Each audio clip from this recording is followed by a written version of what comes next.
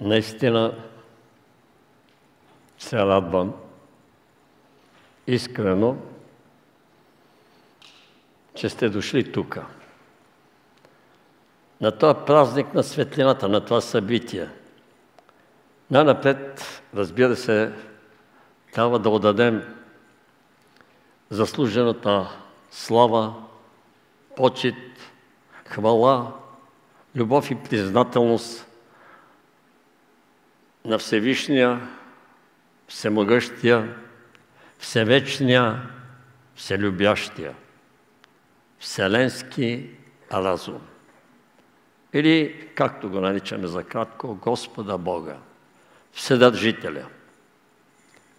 Благодарим Ти, Господи, от дух и душа, ум и разум, сърце и воля.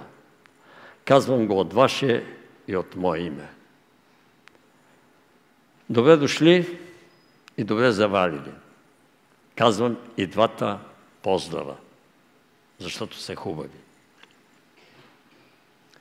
Знаете ли, когато Силвина ми казват темите, те сигурно ги спускат отгоре, и аз се зарадвах, защото естествено е човек да си помисли, че Божествената победа, да, а Божествената победа, защото е на любовта. И понеже казва, че Бог е любов, значи Бог е винаги победител. Във всички начинания, във всички избори, във всички състезания, в каквото и да си помислите. И веднъж ме питат, Георги, ти от коя партия си? Викам, вижте какво, моите момчета. Знаете ли, за мен всички са еднакви, равни. Ма що ми искате да знаете? Питайте Господа от коя партия съм, от същата съм. Ама, ама питайте го, от коя партия? Той и аз съм от същата партия. Значи, наистина, човек трябва да се научи да почита и победителите, и победените. И някога един ангел ми каза, аз съм го написал като стихотворение в книгата Шепа слънце. Тази нощ един замъкнал ангел ми беше на гости. Когато зората отключи небето на тръгване, каза на победителите уважение, на победените любов. Така. Сега пак ви казвам, от сърце желая на този празник на светлината всички да бъдете облени от она истинска, как да кажа, чудодейна, превъзходна светлина на небето и най-вече светлината на Христовото съзнание. Тя е розово-златиста, синкава с лилави оттенъци, блестяща, изумнудена и най-вече диамантена. И е толкова мека и толкова финна и така гали не само душата, тя гали тялото и духа. Ако само те докосне, ще я помниш милиони години. Само веднъж. Много неща на земята не могат да се изкажат, макар че Словото е велико нещо и най-богат, и най-образен, най-метафоричен и най- с най-много символи език на земното кълбо е българският. Аз не съм патриот, не съм националист. Аз съм гражданин на планетата Земя, а моята родина е Вселената. Но казвам, благодаря на Всевишния, че ми изпратил точно тук, но където и да ме беше изпратил, аз щях да обичам точно толкова и в момента, колкото обичам България, толкова обичам и Албания. Толкова обичам и Кения. Толкова обичам и Аляска. Част толкова обичам и Америка. По-равно. Но това не значи, че не зная истината, кой докъдето е дорасъл духовно. Така.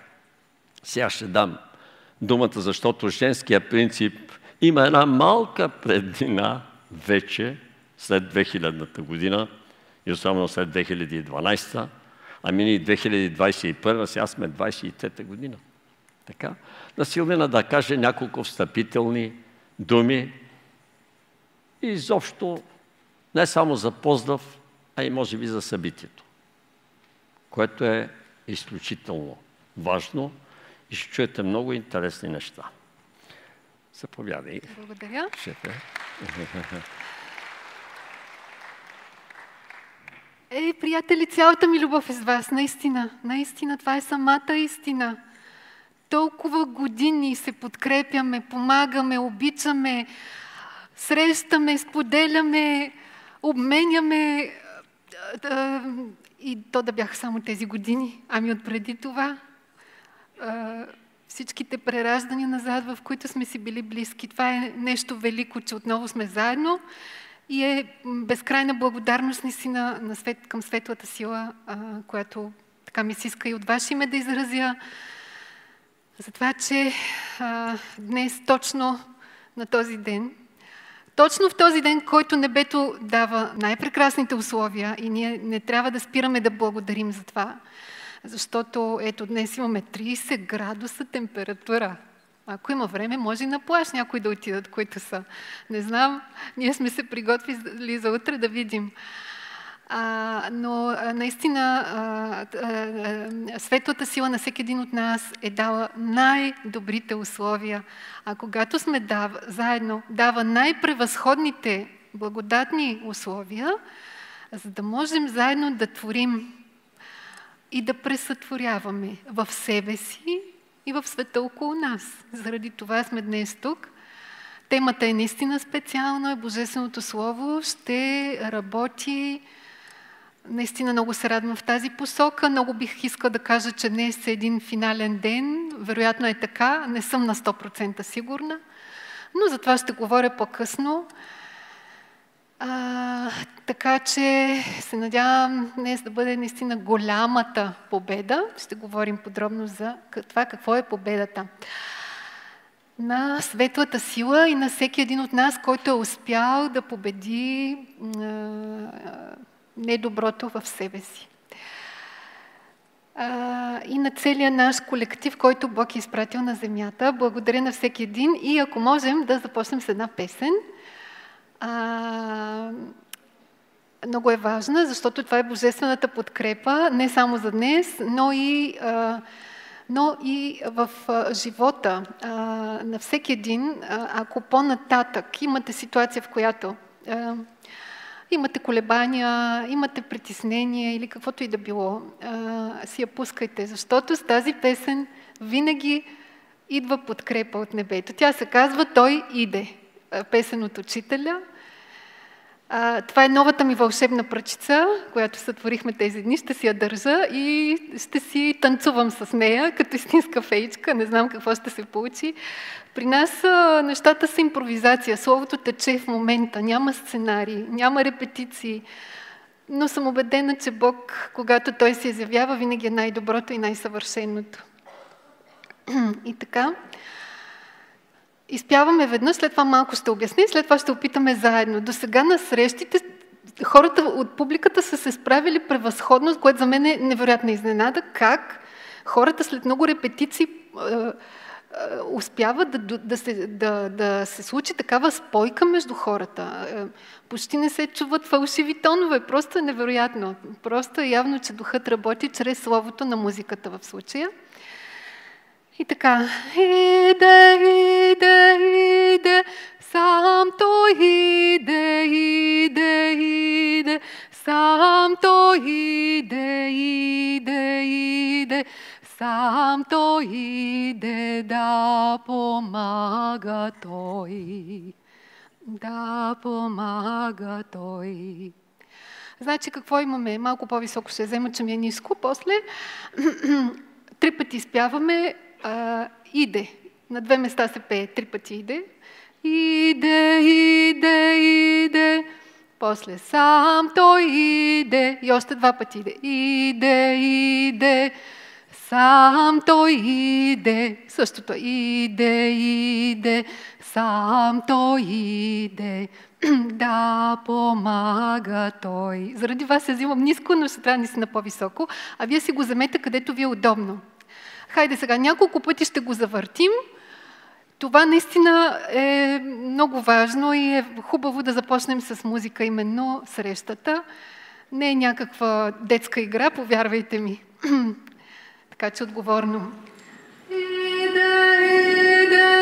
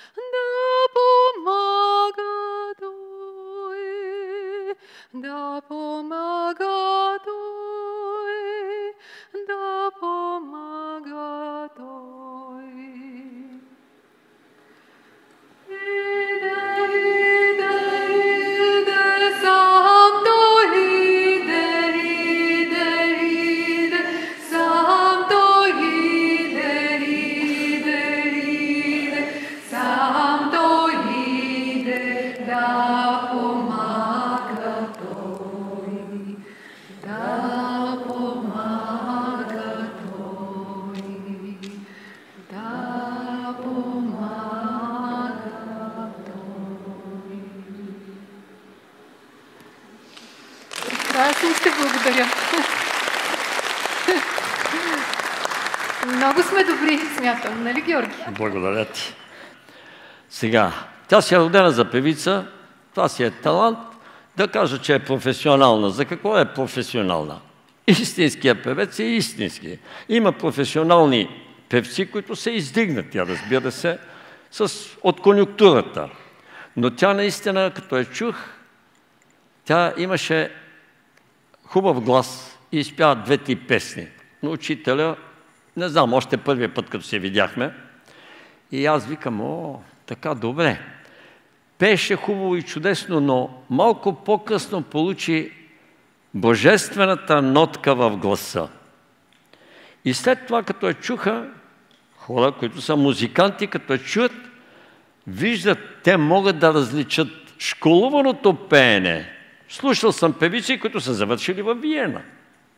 ама като ти го изпее по каталог. Няма божествената нотка, нотката на истинската любов, нотката на топлината, на светлината, на приятелството, на мира, на хармонията, на щастието. Пеят великолепни. Издигат се. Но съм слушал наистина певци от народа, които като започва да пее, нещо моментално леко ме боска в сърцето. Хубаво боскане. Приятно. Това е истината. Но човек, не знам, слушат. Има и ми приятели, които много обичат да слушат. И аз викам, вие усещате ли това? Ми какво да усещам? Разбирате ли? Това вече Георги. дава на различаването и ред други дарове. Дава на съобразяването, дава на действието и така нататък. Сега, тази книжка е Новият завет. И отзад пише даже, че не е за продажба. Един тир беше спял на центъра на София в началото на демокрацията, когато имаше попълзновение на всички, така да се каже, духовни общества и религии в света и секти, дори да ги кажа, секта е хубаво нещо, защото е от сектор. Сектор е част от цялото. Така. И раздавах. И от тогава ми е останала. Минавам от там, взех я. Още бях религиозен, но не бях духовен. Преди много години беше. Защо взех днес? Защото тук пишат много интересни работи, но те трябва да се тълкуват. Ще ви кажа, че а, като ме посветиха, ме накараха да почна да обикалям различни духовни общества. Не да се прилепвам към тях, аз вече бях залепен за небето. За какво ми е да, да се почвам от първото стъпало, като съм на стотното. Обаче, ме пращат, за да видя разликите. Защото аз иначе влизах само в православен храм, така ми бяха обучили, всичко. Почнах да хода и най-ми допаднаха наистина евангелийските църкви. Защо? Защото е всичко изчистено, те признават това. Вътре един салон като тоя и най-много има един кръст. Няма икони, няма работи, няма нищо няма. Няма свещници и така нататък. Стават, почват да пеят, питам пастора, може ли да присъства? Аз отивам. Те са, значи, евангелистиките църкви са около 50 дестинации. Или 50 секти, да кажем. Пак няма да сбъркаме. Така. И повечето съм ги обиколил. Чудесни неща. Те тълкуват. Има проповед винаги. Аз гледам, пастора казва, винаги задължително има проповед. И сега, но както съм казал не веднъж, моето не са проповеди, а са изповеди. Проповед, чуш опит и така нататък. А изповедта е да имаш собствен опит и да го кажеш или на някой много близък приятел, на който му имаш доверие. Така, сега ще направя едно тълкуване, което е изключително и където никъде, честно казано, ако имате някой приятел много високо посветен или ако ходите там из тъй наречените Шамбала или Агарта, посещавате, ходите на съвещания, някой може да ви разтълкува нещо, което искате.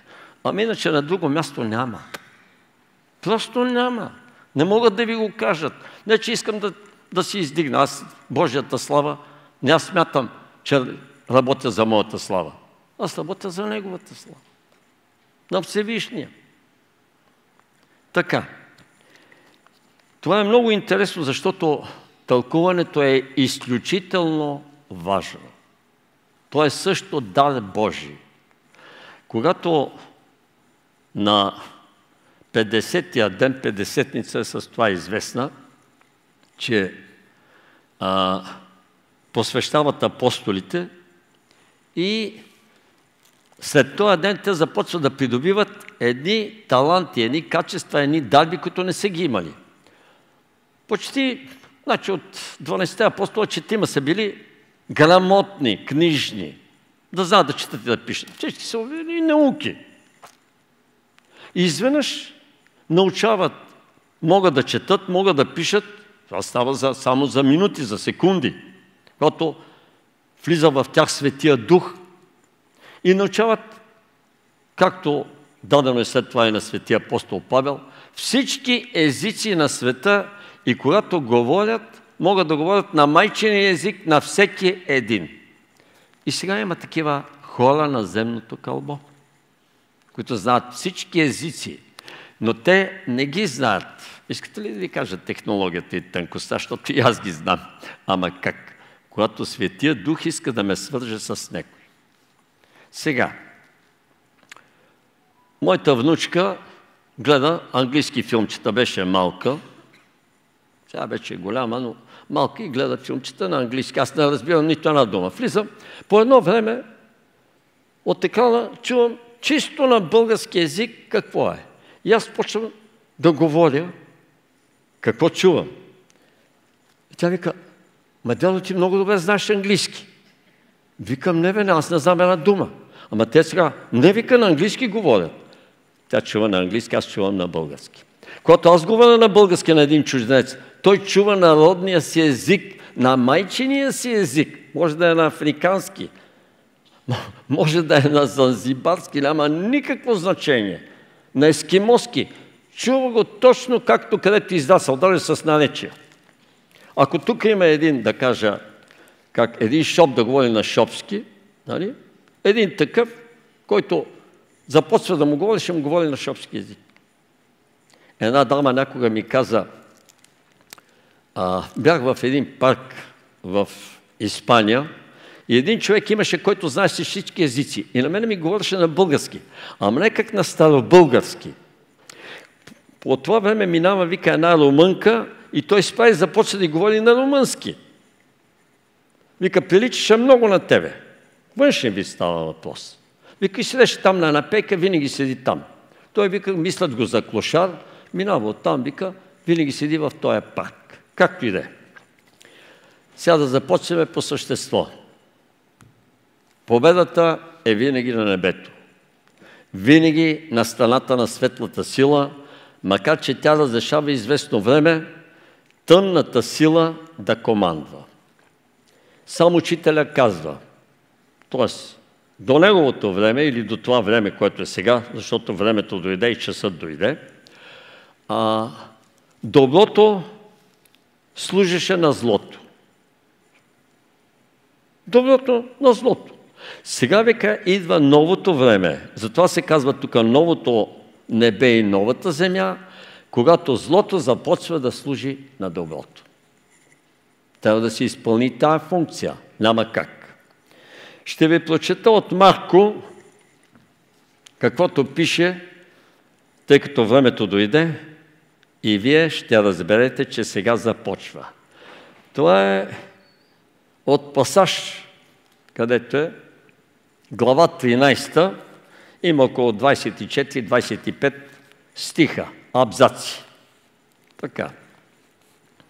Чета и след това веднага тълкувам и всичко е точно.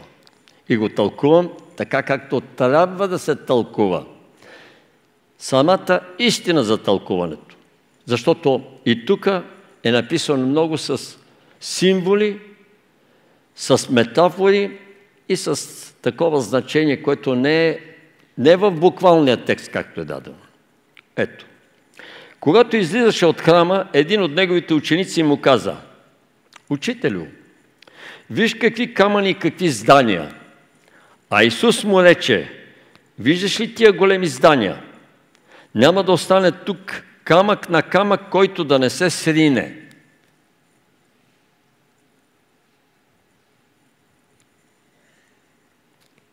Започва се. Аз знам това. Всички здания, които са направени и които по края ги виждам как натъжаха с бетон на целия бряг и как земята се моли повече да не слагат този бетон, железобетон, защото той ще се разпадне, железото си отива. Камък на камък няма да остане. На 30 хиляди, на 60 хиляди, на 100 хиляди здания, едно, ако е направено с честен труд, остава. Дори желязото ще се преработи вътре с него и няма да се срине. Това е чудо. Не е чудо. То е естествено вече. Продължаваме нататък. И когато седеше на Елеонския хълм срещу храма, Петър, Яков, Йоан и Андрей, то са първите, които ги взема рибарите, които са братята, двама по двама, го попитаха насаме. Кажи ни, кога ще бъде това? Тоест, той е голям катаклизъм. И какъв ще бъде знакът, когато всичко това предстои да се изпълни?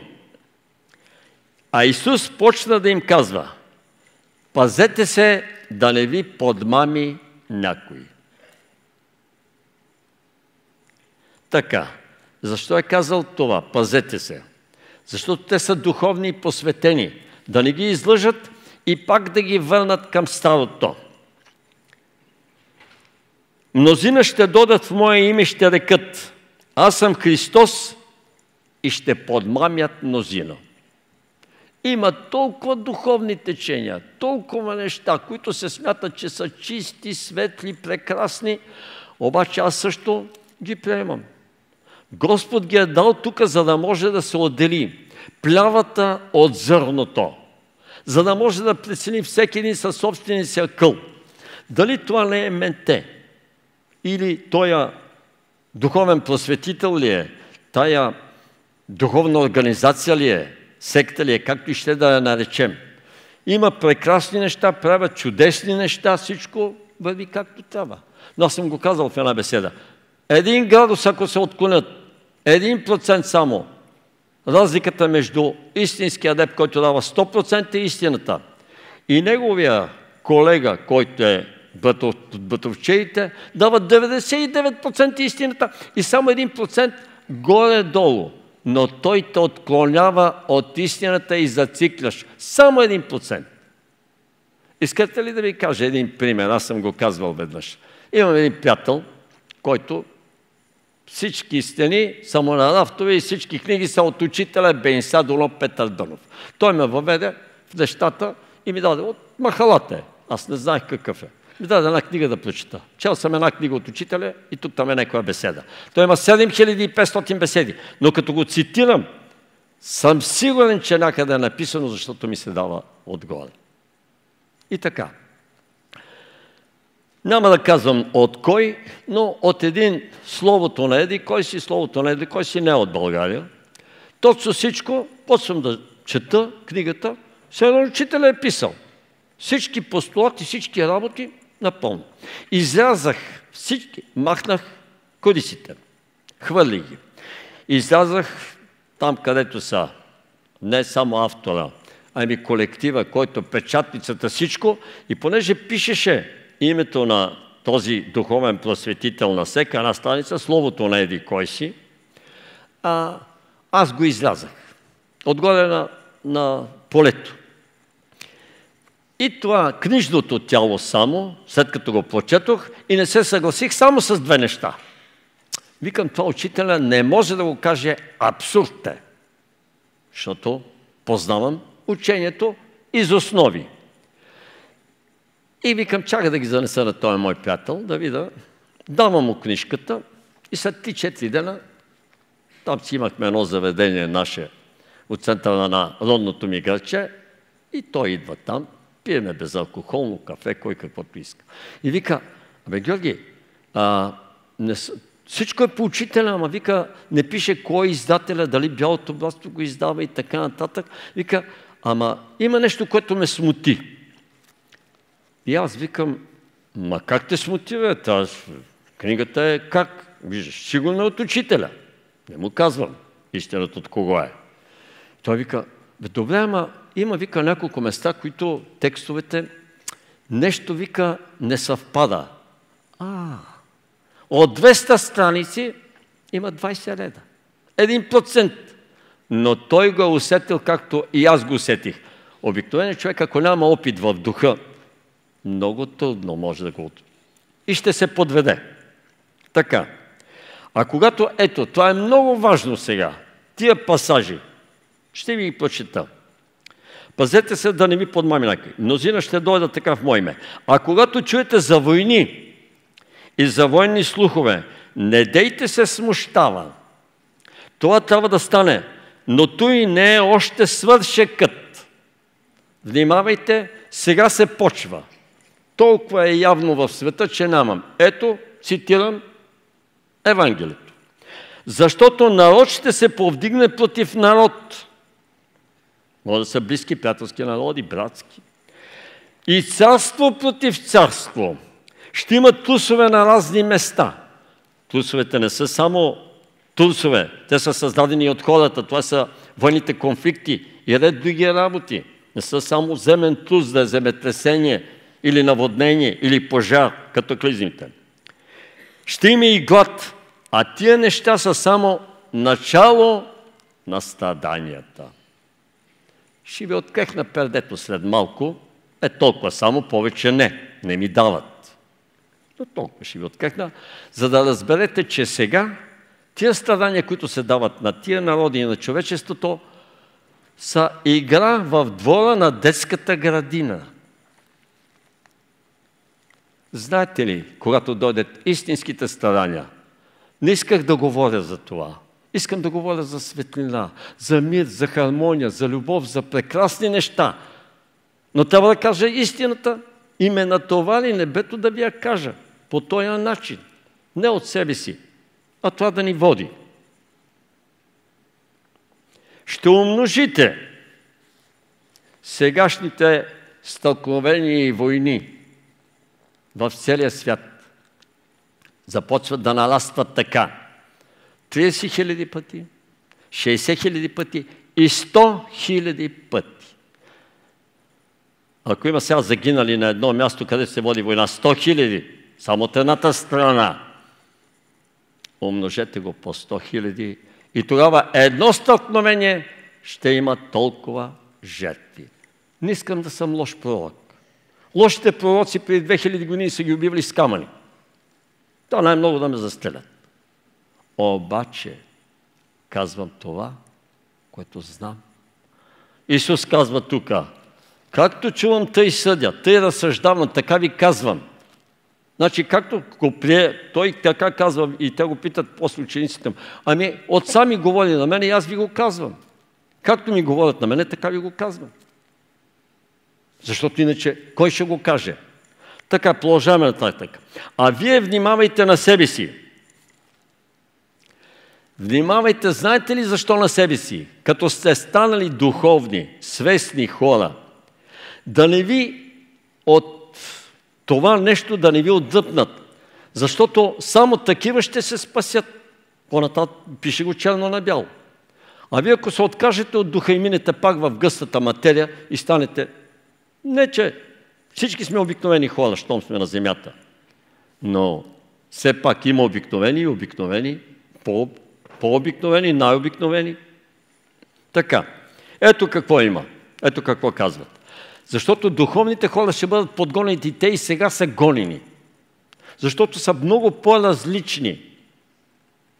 Мислите ли, че аз след като във всяка беседа говоря за мир, хармония, приятелство, братство, любов, мъдрост, истина, справедливост, да всички ме обичат?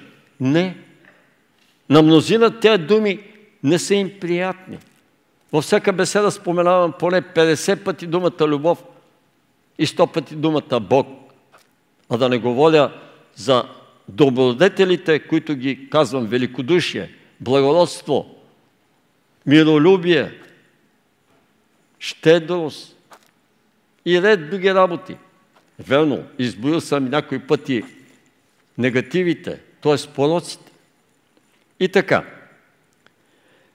А вие внимавайте на себе си, защото ще ви предат на събори и в синагоги ще ви бият и пред управители и царе ще застанете заради мене, за да свидетелствате на тях. Какво искал да каже, когато е казал мене? Това е за новото съзнание, който той го спуска. Това е вече науката, културата на любовта. Това е новото небе и новата земя. Той го казва мене. Ама кой ще го разтълкува така? Заради Исус. Не. Заради онова, който излъчва всеки един духовен човек.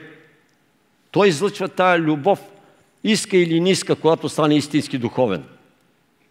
И понеже е различен от другите, а мерзостта сега командва, подлостта е на върха, не е на властта. Все още. Но обаче трябва първо да се проповяда благовестието на всички народи. Кое е благовестието? Победата на любовта. Победата на добродетелите, на доброто, на истинските, хубавите, прекрасните неща. Защото и те тук ги има. Ама са още малко или в зародиш. Благовестието е това. И заради благовестието, което и в момента, и вие сте благовестители, защото ме слушате, и аз съм благовестител. Това е, като им говорим за тези неща. Че ще дойдат на истина свестите, добрите времена, те идват, те са на хоризонта. Сега почват, обаче трябва да се ми премине най-напред през старанията. Ето какво още е подготвено за човечеството. Ако когато ви поведат, за да ви предадат, не се безпокойте предварително какво ще говорите, но каквото ви се даде в оня час, това говорите, защото не сте вие, които говорите, а Светият Дух. Продължавайте да вървите по пътя на светлината, да сте чисти, свестни. Как да кажа? Едни праведни хора, хайде с една дума, за праведен човек, или да се стреми да бъде такъв, да полага усилия да бъде такъв. Свърши времето на измамниците, мошениците, всичко ще излезе наяве. Имам толкова много примери напоследък. Излиза наяве. Един вика, криех от жена си, че имам 15 години любовница. Накрая викаме, как дойдо, вика, бях му един приятел на гости и там отиваме той да излезе да ни освободи квартирата. И жена ми идва по някакъв начин вътре и вика, направо бях удивен. Ами викам, духът те заведе, защото ти не смееш да й кажеш 15 години изневеряваш, кажи истината в очите. Или си отиди при любовницата, или остани при жена си. Не можеш да имаш двама господари. Защото един пише тук, Исус казва, един ще го намазиш, другия ще го обикнеш. Всичко ще излезе наяве. Когато на бургазликата казах, а тя имаше мъже и много го обичам. Любовник и викам, абе нещо му криеш ме, викам какво. И един резервен любовник, за всеки случай, беше върха. Преди 5-6 години на една беседа в Бургас. И да ми казвам, защо съм болна от тази болести, повечето женски. Защото изневеряваш на мъжете, в това текст си го казвам. Ма тя вика, аз много си обичам мъжа, имаше дете. Ама много си обичам и любовник. Еми добре, отказваш се от мъжа си, оставаш му детето, взима си любовник и почва. Ами той е женен, той даже има две деца, аз имам едно. Нищо бе, добре бе, ще се разбере, той ще вземе двете деца, мъжете, ако ти даде твоето дете, взимат и почвате да живеете заедно. Нали много се обичате. А не да се криете. Всичко ще излезе наяве, казвам ви честно и чисто. Можех, а, един пост пример, тя Силвина беше свидетел. Вкарвам колата между двете коли на паркия, на моите съседи, един отляво, един от десно, и задната врата ми се отваря и на неговата задна врата, той ще седи джип, има, хубав, жит една черта, като от пирон, докато спе колата на две педи, докато се усетя. Сгледам, че е правилно влизам, ама как се отваря, не знам, както и да е. И сега, никой не видя. Беше привечер такова, а, къде, какво е направил? Затварям си вратете си, мълча на моята нищо и няма. Така. Обаче отивам и звъня от тях. Никой няма. Отивам, звъня на съсед. Викам, бе, слушай, тук, тук ли е, викам, нашия човек? Той вика, не, не, на работа. Е, трябва да го изчакам, докато дойде. Значи, докато не му казах, не съм се успокоил. И той вика, абе, това е да болия, бе. Че обичаме с него, имаме си се. И той вика, абе, Георги, това е да боли. Викам, знам, че е да боли, ама да не си помислиш и започнеш да ругаеш друг. Викам, и като почнеш да го ругаеш, почваш да излъчваш омраза към неизвестен извършител. Защото, викам, може някой да е дошъл и да ти хубав нов джип, да ти надаскал точно, точно като с пирон. Не е много дебела, тя даже не може да стигне, стигна до грунда. Ама викам, това е автокозметика, ще се, ще се оправи. Той вика лесна работа. Ама, ама неизвестният извършител съм аз. Нали? А така като знае и като види, всичко е точно. Той вика, всичко е наред. Видите ли колко е просто? Най-важното е да ти е чиста съвестта. Иначе много се мъчиш. Значи, пак съм го казал, в Златните завети е записано. Там има така. Най-голямото наказание за грешника е прошката, всеопрощаването. Прощаваш му, моментално му отключва съвестта и на най-големия престъпник, разбойник, не знам какъв си, не искам да цитирам сега и да казвам улични изрази. Какъвто ще да е. Почва да работи съвестта и започва да го чука и е такава тежест. Знаете ли, идват и се изповядват пред мен. Аз не е хубаво това да казвам, ама дойде един килър. Професионалист. Вече е спал, мокри поръчки не приема. Но ме е приемал. И вика, Георги, отърви ме. Каквото отървя, бе? Последният, дето го застрелях в упор, вика, сега ми е на врата. Седи и ми тежи, и ме тормози, и непрекъснато ми говори в главата. Ставам луд, отърви ме, моля ти се, на колене, плаче, реве, всичко ще... Казах ли те да изпълняваш мокри поръчки? Аха. Няма да отида на полицията го предам, разбира се. Той наклада да сложат или на кръст. Така. Пазете съвестта си чиста, или пък като безсъвестните, те викат, те се заключили са, или са оперирани от съвестта. Както могат и махнат апендисита, нямат съвест и си живеят. Добре. Но имат, само че е запечатено. Така. Вижте сега какво продължава и каквото става в момента. Брат брата ще предаде на смърт и баща чадо, и чада ще се повдигнат против родители и ще ги омъртвят. Нито един от вас няма да ми го разтълкуват така, както аз ще ви го разтълкувам. Защото всеки ще каже, брат, бата, да, има такива. Дигнаха се особено, когато дойде демокрацията и почнаха да разпределят нали, наследството, земи, къщи, не знам какво им върнаха. Ей, какви ли работи тук, адвокатите най-добре знаят. Но не е така. Това е само символ. Брат брата ще предаде на смърт. Тоест, ближния ще предаде ближния си. А са едни и същи. Едно и също нещо искат. Не само брат. И това показва, че народ ще предаде друг народ. Не само брат брата. Братски народи. Както почва да се бият сега и в момента. И на точно където има военни стълкновения, те и едните и другите не знаят, че са абсолютно братски. Ама абсолютно, като казвам, това е самата истина. Защото от едно и също място произлизат. Няма да цитирам. Така. А, и ще се повдъгнат чара.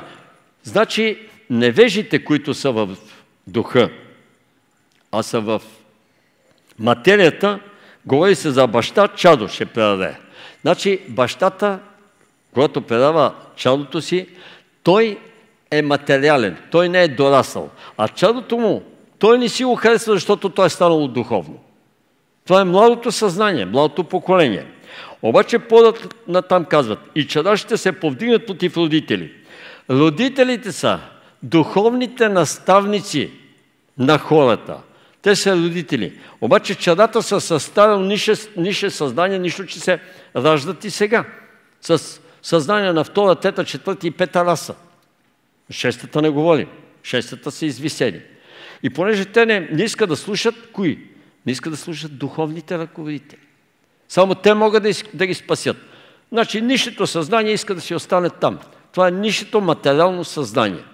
Разбирате ли как е дадено това тук? И така ви го тълкувам, това е верният начин. А не казват, да и това ще стане. Да се дигне бащ, баща против син. Ако са различни партии, различни виждара, може и да се карат. И братята. И ще бъдете мразени от всички заради моето име, но който стои до край, той ще бъде спасен. Знаете ли за какво? Това пак го повтарям. Не за името на Исус Христос. Това е Христово съзнание. А за моралните ценности, за този морал, който Той е донесъл на земята. Да обичаме, значи, враговете си и предателите си. А сега виждате, стават врагове, те не се обичат. Още по-лошо става. Значи, един военен конфликт, една война може да спеш само с мир. Само с добро. Да отвърнеш на злото с добро. Знаете, че имаше, вендета има при италянците, ама има вендета и при албанците. Какво е вендета? Кръвно отмъщение. Единият род убива случайно или не от другия род един човек. Другия род си връща и го убива. 300-500 години. Знаете ли каква вендета има стотици години? Се, се се убиват от един и другия. Докато идва един с ново съзнание в ново време, това знам такива истински случаи в Албания, идва и казва, ама ние сме потърпевшата стана, ние трябва сега да им отговорим на тях. Защо е убит от нашия род някой? О, да, много се държи. Но този човек е ангел в човешки образ, млад мъж и казва, до тук бяхме. Отиваме и казваме, трябва да върнем. Няма да върнем кръвното отмъщение. Прощаваме ви. Тогава се спира.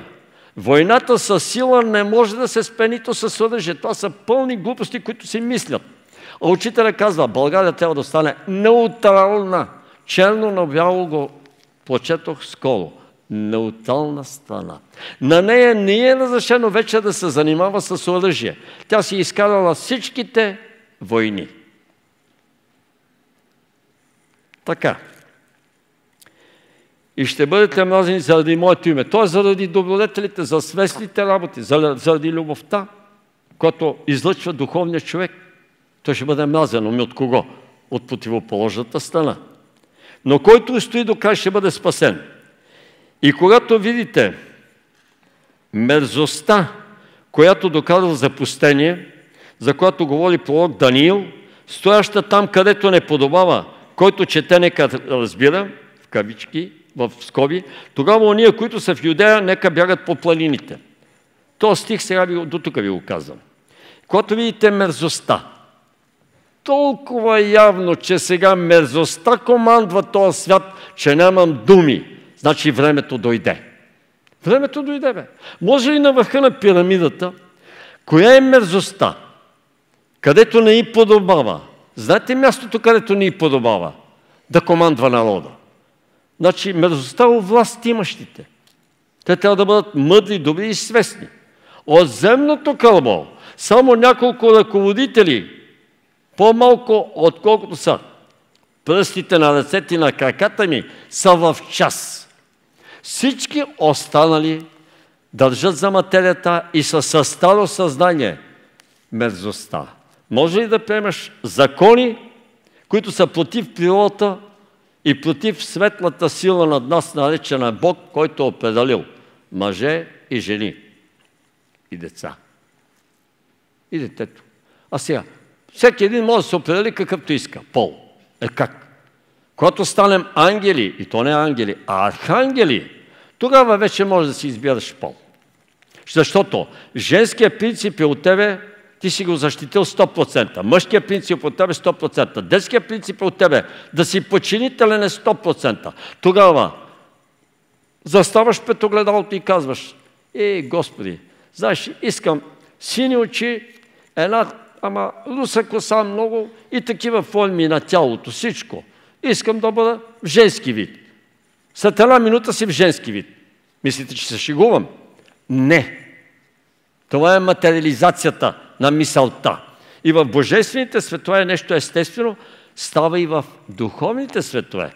Но на земята можеш да го направиш. Не, че не съм виждал чудеса. Но бавно и трудно. Човек може да се разкъси, всичко може да стане.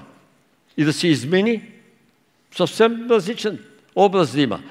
Ако си промени съзнанието, съзнанието командва всичко, т.е. духа, По-натам то, то го пише черно на, на бяло. И когато видите мерзостта, когато доказва запустение, запустение, т.е. връщате обратно. Не те тегли напред към еволюцията. Няма нищо. Този свят за това е застинал сега в момента и затова се получават тия стълкновения. Но, ако човешкото съзнание се извиси към доброто и към светлината, знаете ли как човечеството ще се размине с колко много злини, казано в прав текст, с колко много катаклизми. Но те ще намаляват до минимум. Трябва да се мине през тях, разбира се. Така, ето сега. Тогава уния, които са в Юдея, нека бягат по планините. Какво иска да кажат времето сега като дойде? В Юдея са всичките, които са в материалното съзнание. Планините са местата на духа. Отиваш там, където има дух, както вие сте се събрали тук, защото има дух. Разбирате ли? За да се спасите. Ето, тогава уния, които са в Юдея, нека бягат по планините. Юдея не е тая Юдея, която е. Израел ли, както ще да кажем. Не, в никакъв случай. Това е символ, който е тук. Това е метафора. Тоест, където съм гъстата материя. На евреите беше дадено властта до сега, до 2000 година, и парите. Това е най- най-гъстата материя. Тоест, както и американците вправяха каруцата пред коня. Каруцата е материя, коня е живата същност, това е духа. Така. И който е на къщния покрив, да не слиза в къщата си, нито да влиза да вземе нещо от нея. Ако е дяда поп, ще го разтълкува. А как бе? Ами викам, дядо попе, какво ще прави? Идва това време и това е на къщата си, седи на покрива. Имам приятели, свещеници. И той вика, ами, викам, слушай, който е на къщния покрив се е качил на върха, отгоре на материята. Той вече е в духа. Той е на най-висшето място. Да не слизаш долу, обратно се връщаш в материята. Да не влизаш в а, капана на, на материята. Да не се връщаш вече. Остани си духовен, голе, за да се спасиш. И който е, да, дори да не, и да не влизаш, да вземеш нещо от нея. Нищо не ти трябва материално вече. Трябва ти дух. Само дух и вяра. И който е на нива, да не се връща назад, да вземе дрехата си. Какво е нива? Който е на нива. Значи, ако не обикновен човек, ако почиташ, той буквално ще ти го разтълкува. Но той е бил на нива и да не се връща да вземе дрехата си. Но как го тълкува Георги Изводски? Ще ви кажа. Нивата, това е да работиш на Божията нива. За духа да работиш. И като си там, значи да останеш, да положиш, да работиш колкото и да е тежко на Божествената нива. Това иска да каже тук. Ето. И който е на нива да не се връща назад, да вземе дрехата си. Дрехата е материално нещо. Пак да се набуташ в материята. Ага. Продължаваме нататък. Има още доста. А, ето сега, този пасаж. Питам един дяда попи, той вика, ами това зле ще бъде тогава. А горко на непразните и на кармачките през уния дни. Защо? И тогава имало бремени, не празни, още а, така. Не празни ли са казали за жената, бременната жена, тя е трудна. Боба ми казваше, абе тя е трудна.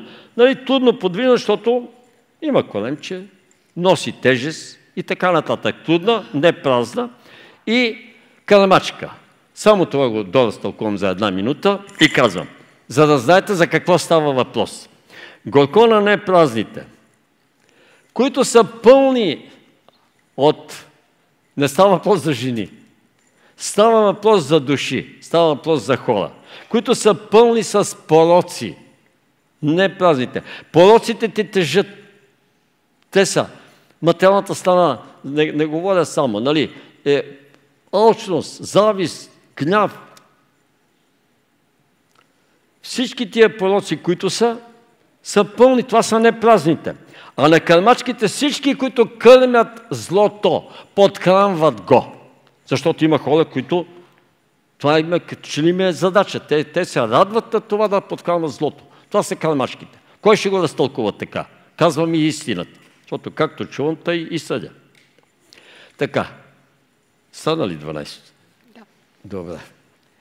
След това продължавам чак до 17 абзац. Добре. Имам още 7-8 абзаца. Само искам леко по-в центъра Така, да сме. чакай, оставя книгата. А, приятели, ще продължим с молитвата Божествената победа.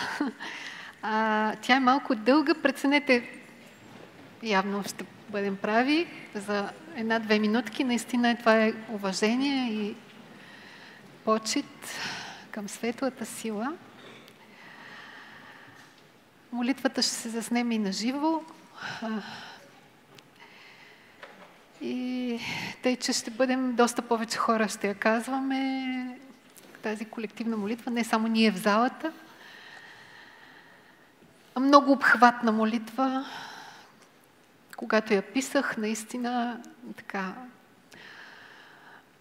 наистина Бог чрез нея предава наистина какво е Божествената победа, какво е човек да постигне Божествената победа и за това ще се помолим за всички тези неща.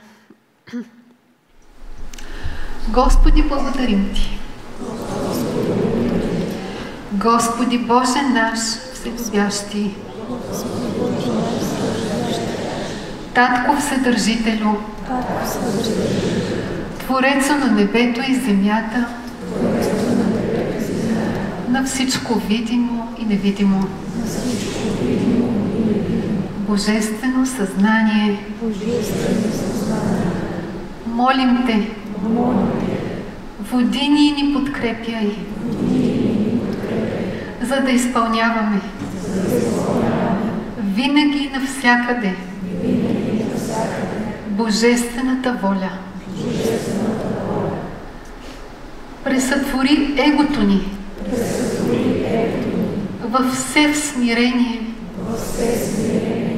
за да познаем единственият всевечен живот,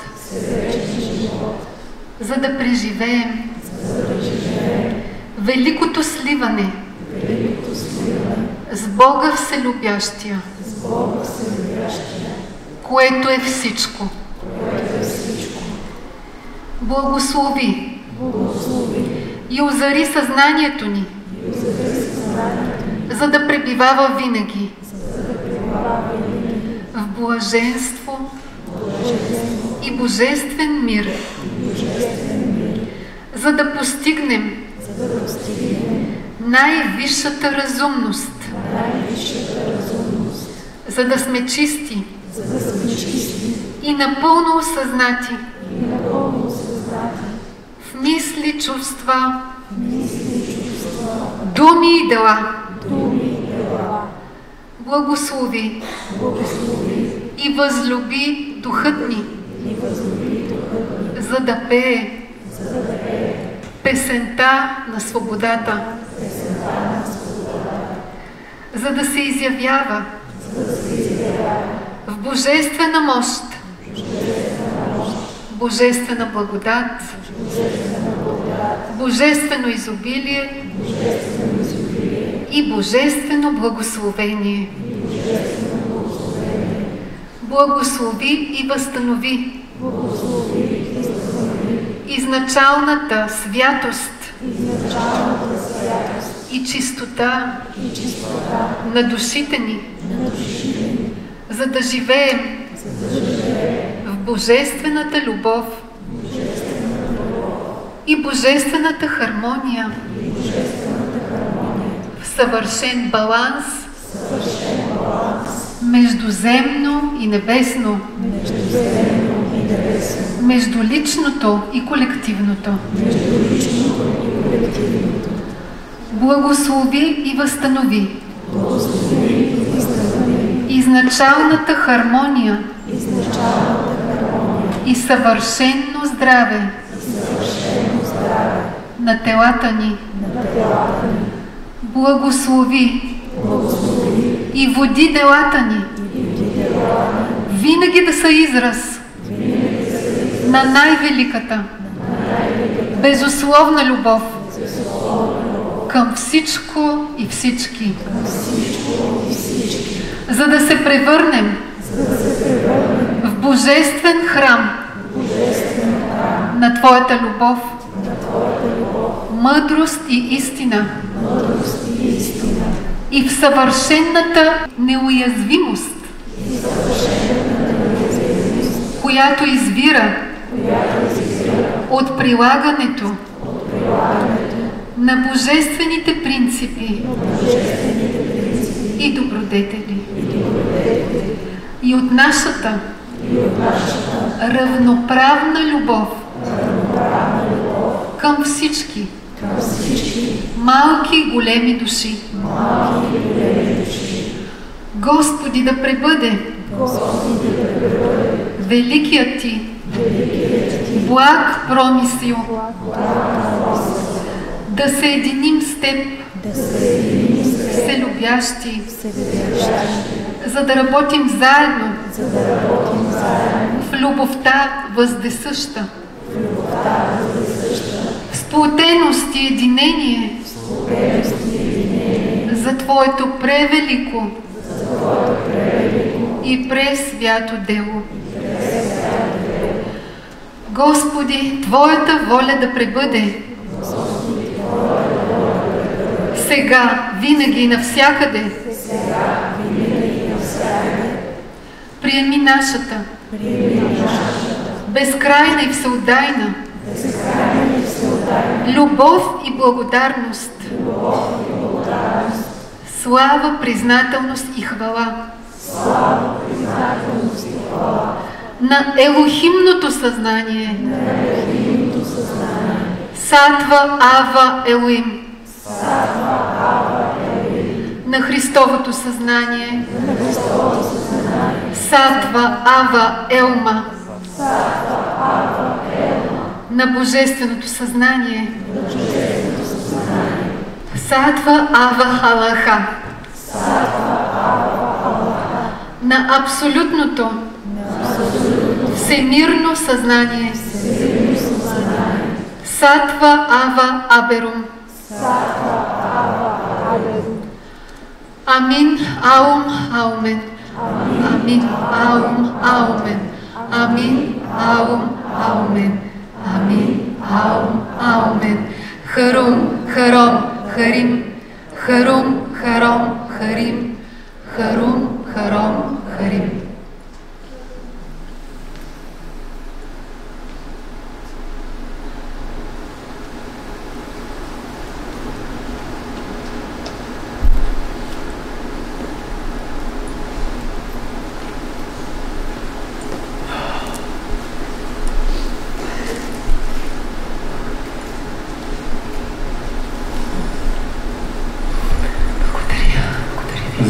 Се напълни с ангели. Така.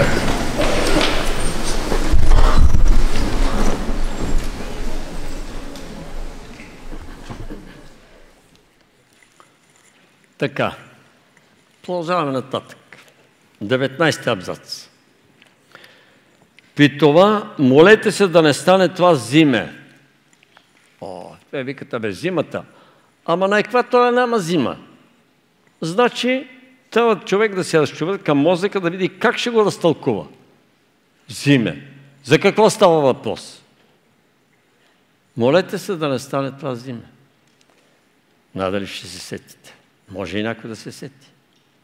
Това е трудна задача. Аз едва се досетих. Но се досетих сам. Зимата не е като сезон. Зимата е като някакво положение на човечеството и на планетата. А това е сега, която идва планетарната криза. В криза. Няма да стига това, второ, тето се, се става все по-зле и по-зле. Молете се това да стане по време на криза. Ама то ще стане точно, тази криза трябва да мине.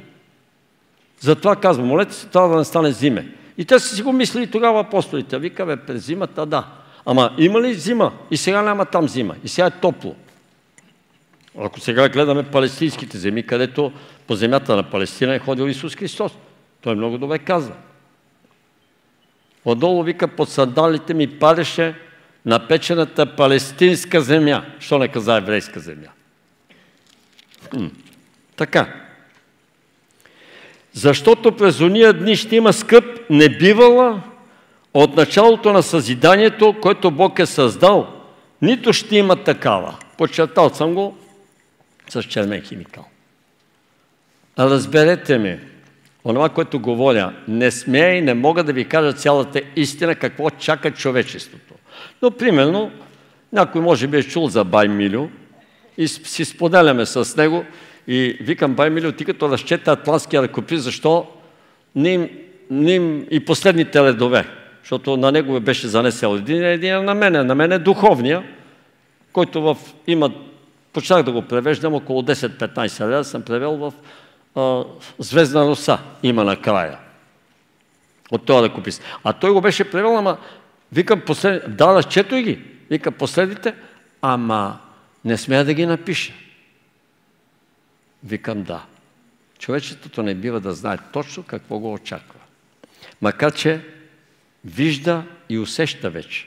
Така. Сега, значи, прочитам това, защото през уния дни ще има скръп. Не бивало до сега от началото на създанието, което Бог е създал, нито ще има такава. Значи, ако има такава, ще има, може би след няколко стотин хиляди години или милион. Но земята няма да има вече на земята. Земята пътува към много по-хубави места, по-много хубави светове, където не може да бъдеш там, не може да проникнеш с нише съзнание. Там не мога да откраднеш от комшията си нещо, не мога да лъжеш. Там няма, пророци няма. И тя земята като пътува на там, ясно, че на земята повече няма да има такива неща. Те сега са за да минат. И ако Господ не съкратеше уния дни, не би си избавила ни една твар, но заради избраните, които Той избра, съкратил едните. И аз викам, говорим си, тъмън съм посветен съм в планината.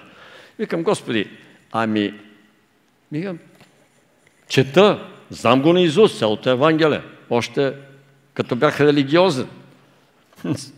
И викам, абе, добре, той е пасаж тук, как викам, че се спаси човек? Той вика, всички избрани ще бъдат предупредени преди това. Накрая ще останат, разбира се, само те. Но преди това ще бъдат предупредени, когато се катаклизмите да останат. Ами викам, му викам, тате, Господа така ми каза да го викам, отца ти е дядо, вика, аз съм ти тат. Викам, добре. Сега, викам, аз съм в гората. Над моето бунгало, там където е стъклената пещера, гора, планина. Стара планина, там е едни пред планини. Викам, планината съм. И трябва да стане земетресение, да дойде цунами, не знам какво тук да залее. И той вика, ами ще ти кажа да заставаш до това дърво и да не шараш. Един час, два, 15, 20 часа седиш там. Ще оцелеш. Но около нищо няма да остане. Но на тебе нищо няма да се случи. Така. Тогава, ако ви каже някой, ето тук е Христос или ето там е, не вярвайте. Значи, ето сега, когато казват, аз съм Христос, той се казва на Христос, Оля, той я дава и така нататък. Не вярвайте. Защо? Защото ще се появят лъжехристи и лъжепророци, които ще покажат знамения и чудеса, за да подмамят, ако е възможно, и избраните. Виждате ли, и от духовните хора някои се отклоняват. Идват, слушат, изведнъж отиват другаде, там може би по-им харесва. Но се са отклонили вече от пътя на светлината. Аз не казвам, че той е най-правия път. Не казвам. Вие сами трябва да го усетите и да го изберете. Защото дойде едно момче, вика, три месеца бях Георги, където и ти си бил някога. Викам, никога не съм бил от това, това общество. Изкарваха ме, че съм от него, ама не съм от това общество. Аз съм на небесното общество член, а не на това, което е на Лила, примерно. Не съм. Бях там, играх и така, защото Господ ми каза да отида. Но не и да стана част от него и да му стана негов член. И така, даже не исках да играя паневритме и викам, абе аз съм играл космическата паневритме, сега да играя тая. А ми вика, че играеш и тая. Докато после ме отказа, вика, няма да играеш паневритме Така, Значи, просто внимавайте, а вие внимавайте, ето, предсказах ви всичко. И още малко ще, ще потълкувам надолу. Значи, а, внимавайте точно такива да не ви подмамят и човек да не се отклони без да иска. Това е пак с хубави неща, с хубави работи, разбира се. С, както сега, мерзостта командва, която казва, това е лошо, това е, това е добро. Ама не е така. Това прави лошо, това прави добро. Откъде знаеш кой е направил това лошо и кой се стреми това да го превърне уж добро, а фактически не е добро. Не искам да цитирам официално, вие добре гледате, аз не гледам телевизия, ама и не слушам много радио, обаче ако слушате и внимавате, ще видите за какво става въпрос. Толкова е, един българин не може да бъде излъган. Кой бутна големите сгади на американците на 11 септември 2001 или 2002 година? Ага. Всичко беше изпипано. Нали? Сега тия работи не могат да заблудат българите в никакъв случай. Защото той прави проверки и мисли, тук имаш така. Може да заблудат някой, който си пие халбата с бира, един литър, пие биричка. Има, ако случайно му свършат парите в книжката, както един беше в Норвегия или Холандия, вика, отивам, гледам, привели ми, тогава още бяха гулдени. 3000 гулдени нямам, аз съм ги на нула. И отивам и викам, нещо банката е сбъркала. А, не, господине, ние видяхме, че няма пари във вашата книжка и нашата страна, понеже сте нейни граждани, ви ги привежда. Само и само да не млънкаш, само и само да не останеш беден, гол, бос, да почне да ти штака пипето. Да почне да ти върти като на българина, който е пенкеля, всичко може и всичко прави, защото мисли. А там, когато си задоволен, едно приятелче каза, е, тия тия доволните прасенца, вика на запад, ето всичко им слагат, така нататък. Беше там едно младо момче, и вика, аз направо съм удивен. Уния всичко чакат на готово, не може нищо да си направи, вика вкъщи. Гледай ги, гледай ги, вика. Им се чуди. Така, както и да е. Не ги укорявам. Нека си живеят така, щастлив живот. Но свърши щастливия живот. Както в Франция и в Англия почнаха тук гръмне, там гръмне. Не може да си седиш в бистото така, както много години, Леля ми беше французойка, една от лелите ми, там се беше оженила и заева 75 години в Париж, на 95 години си отида преди две години. Съм ходил при нея. Ма там ми няма се какво да се ядосиш. Но всичко ти е на тъмън, всичко ти е на куп, всичко ти идва точно, всичко е... Тя беше богата дама, разбира се. И така. Но не останах при нея. Викам, аз се прибирам, не мога. Изкарах една седмица. Викам, палиш, палиш, не ме интересува. Те приятелите ми викат, що не стана там, бе, Георги? Ти ще, ще те гледа като писано се, верно е. Имаше и къде? Двор голям, три декара, къща. Вика, две къщи имаме на лета кухня, живей тук. Пари колко искаш. Ама не, не мога да живея друга. Ако Господ ме беше оставил там, ще да остана, разбира се, ама като ме е изпратил тук. И така, ето какво пише още вече за големите накрая. Но през уния дни, она скръп. Слънцето ще потъмне, луната няма да даде светлината си. Звездите ще падат от небето и силите, които са на небето, ще се разклатят. Друга да пише, това е от Марко, а при другите евангелисти пише, слънцето ще стане като козиняво вретище. Така, ще потъмне.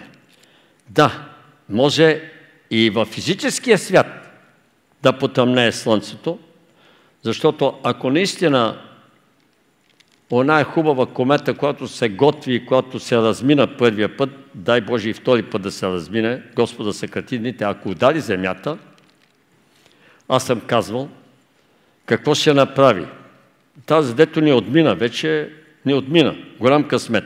Защото цунамите от 2-3 метра отнасят хиляди хора в морето, а цунамите, ако стане 100-200 метра, какво ще направи? От удара в океана само като падне. Едно тяло, което е една десета от масата на Луната, с скорост 250 хиляди километра в час. Е как няма да мине през тия 60 километра, където са земните стратосфери, атмосфери и така нататък. И да удари във водата. Какви вълнички ще дойдат?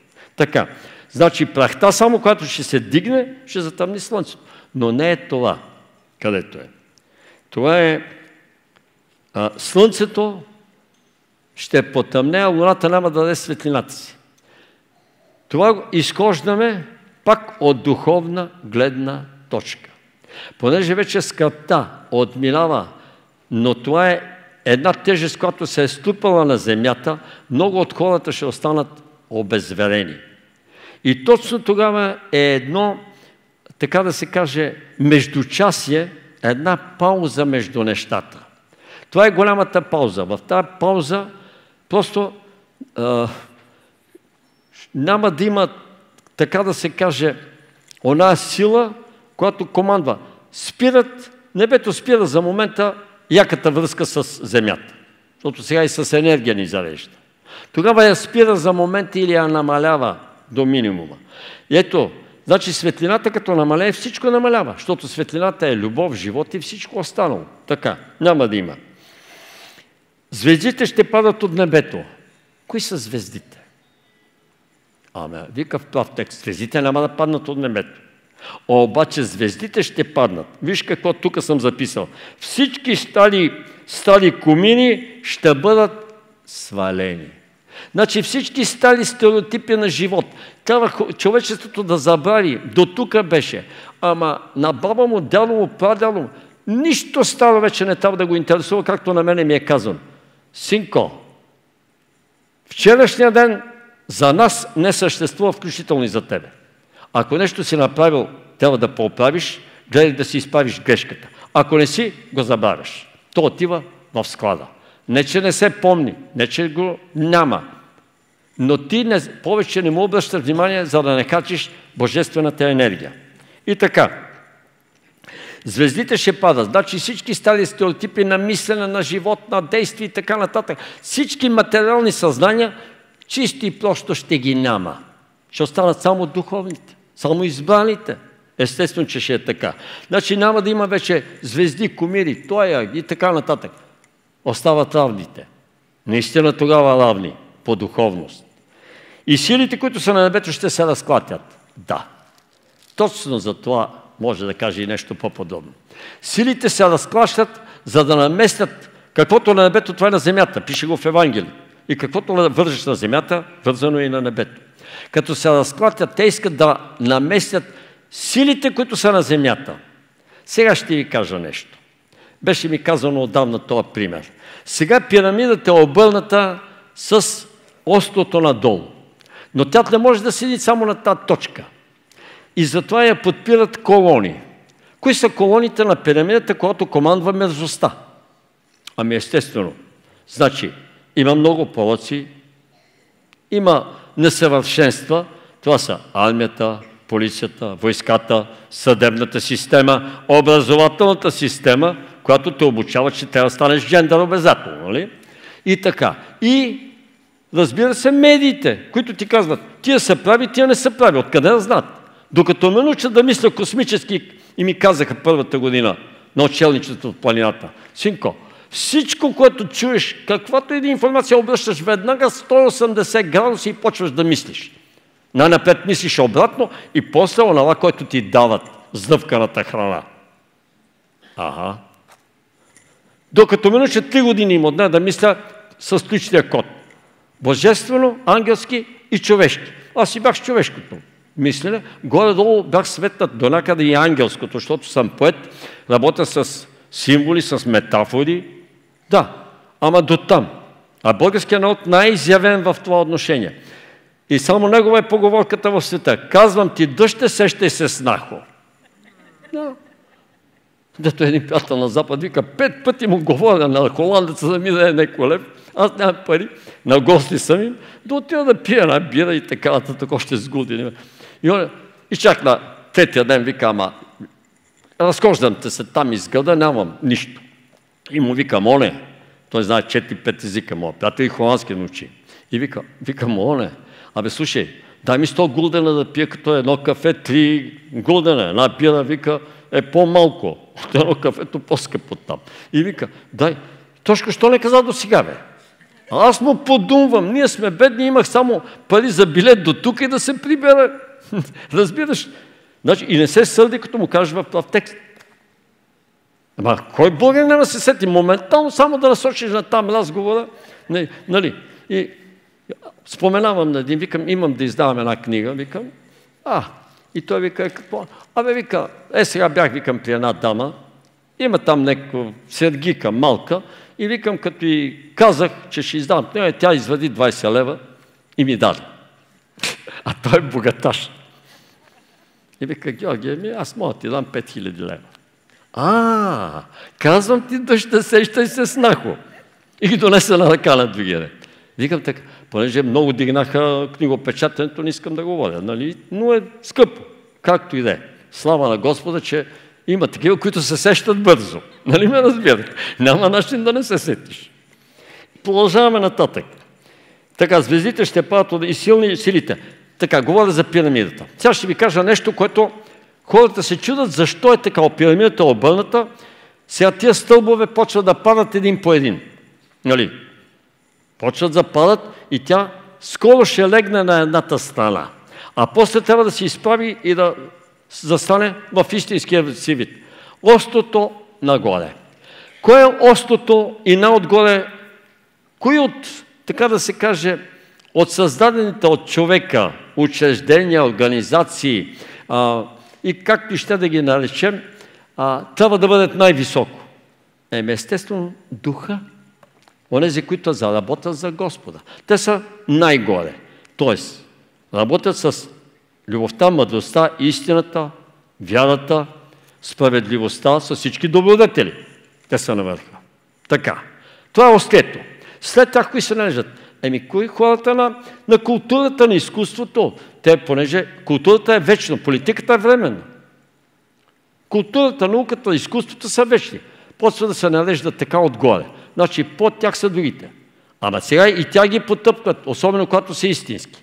След това се належдат вече надолу хората, които изкарват материални блага.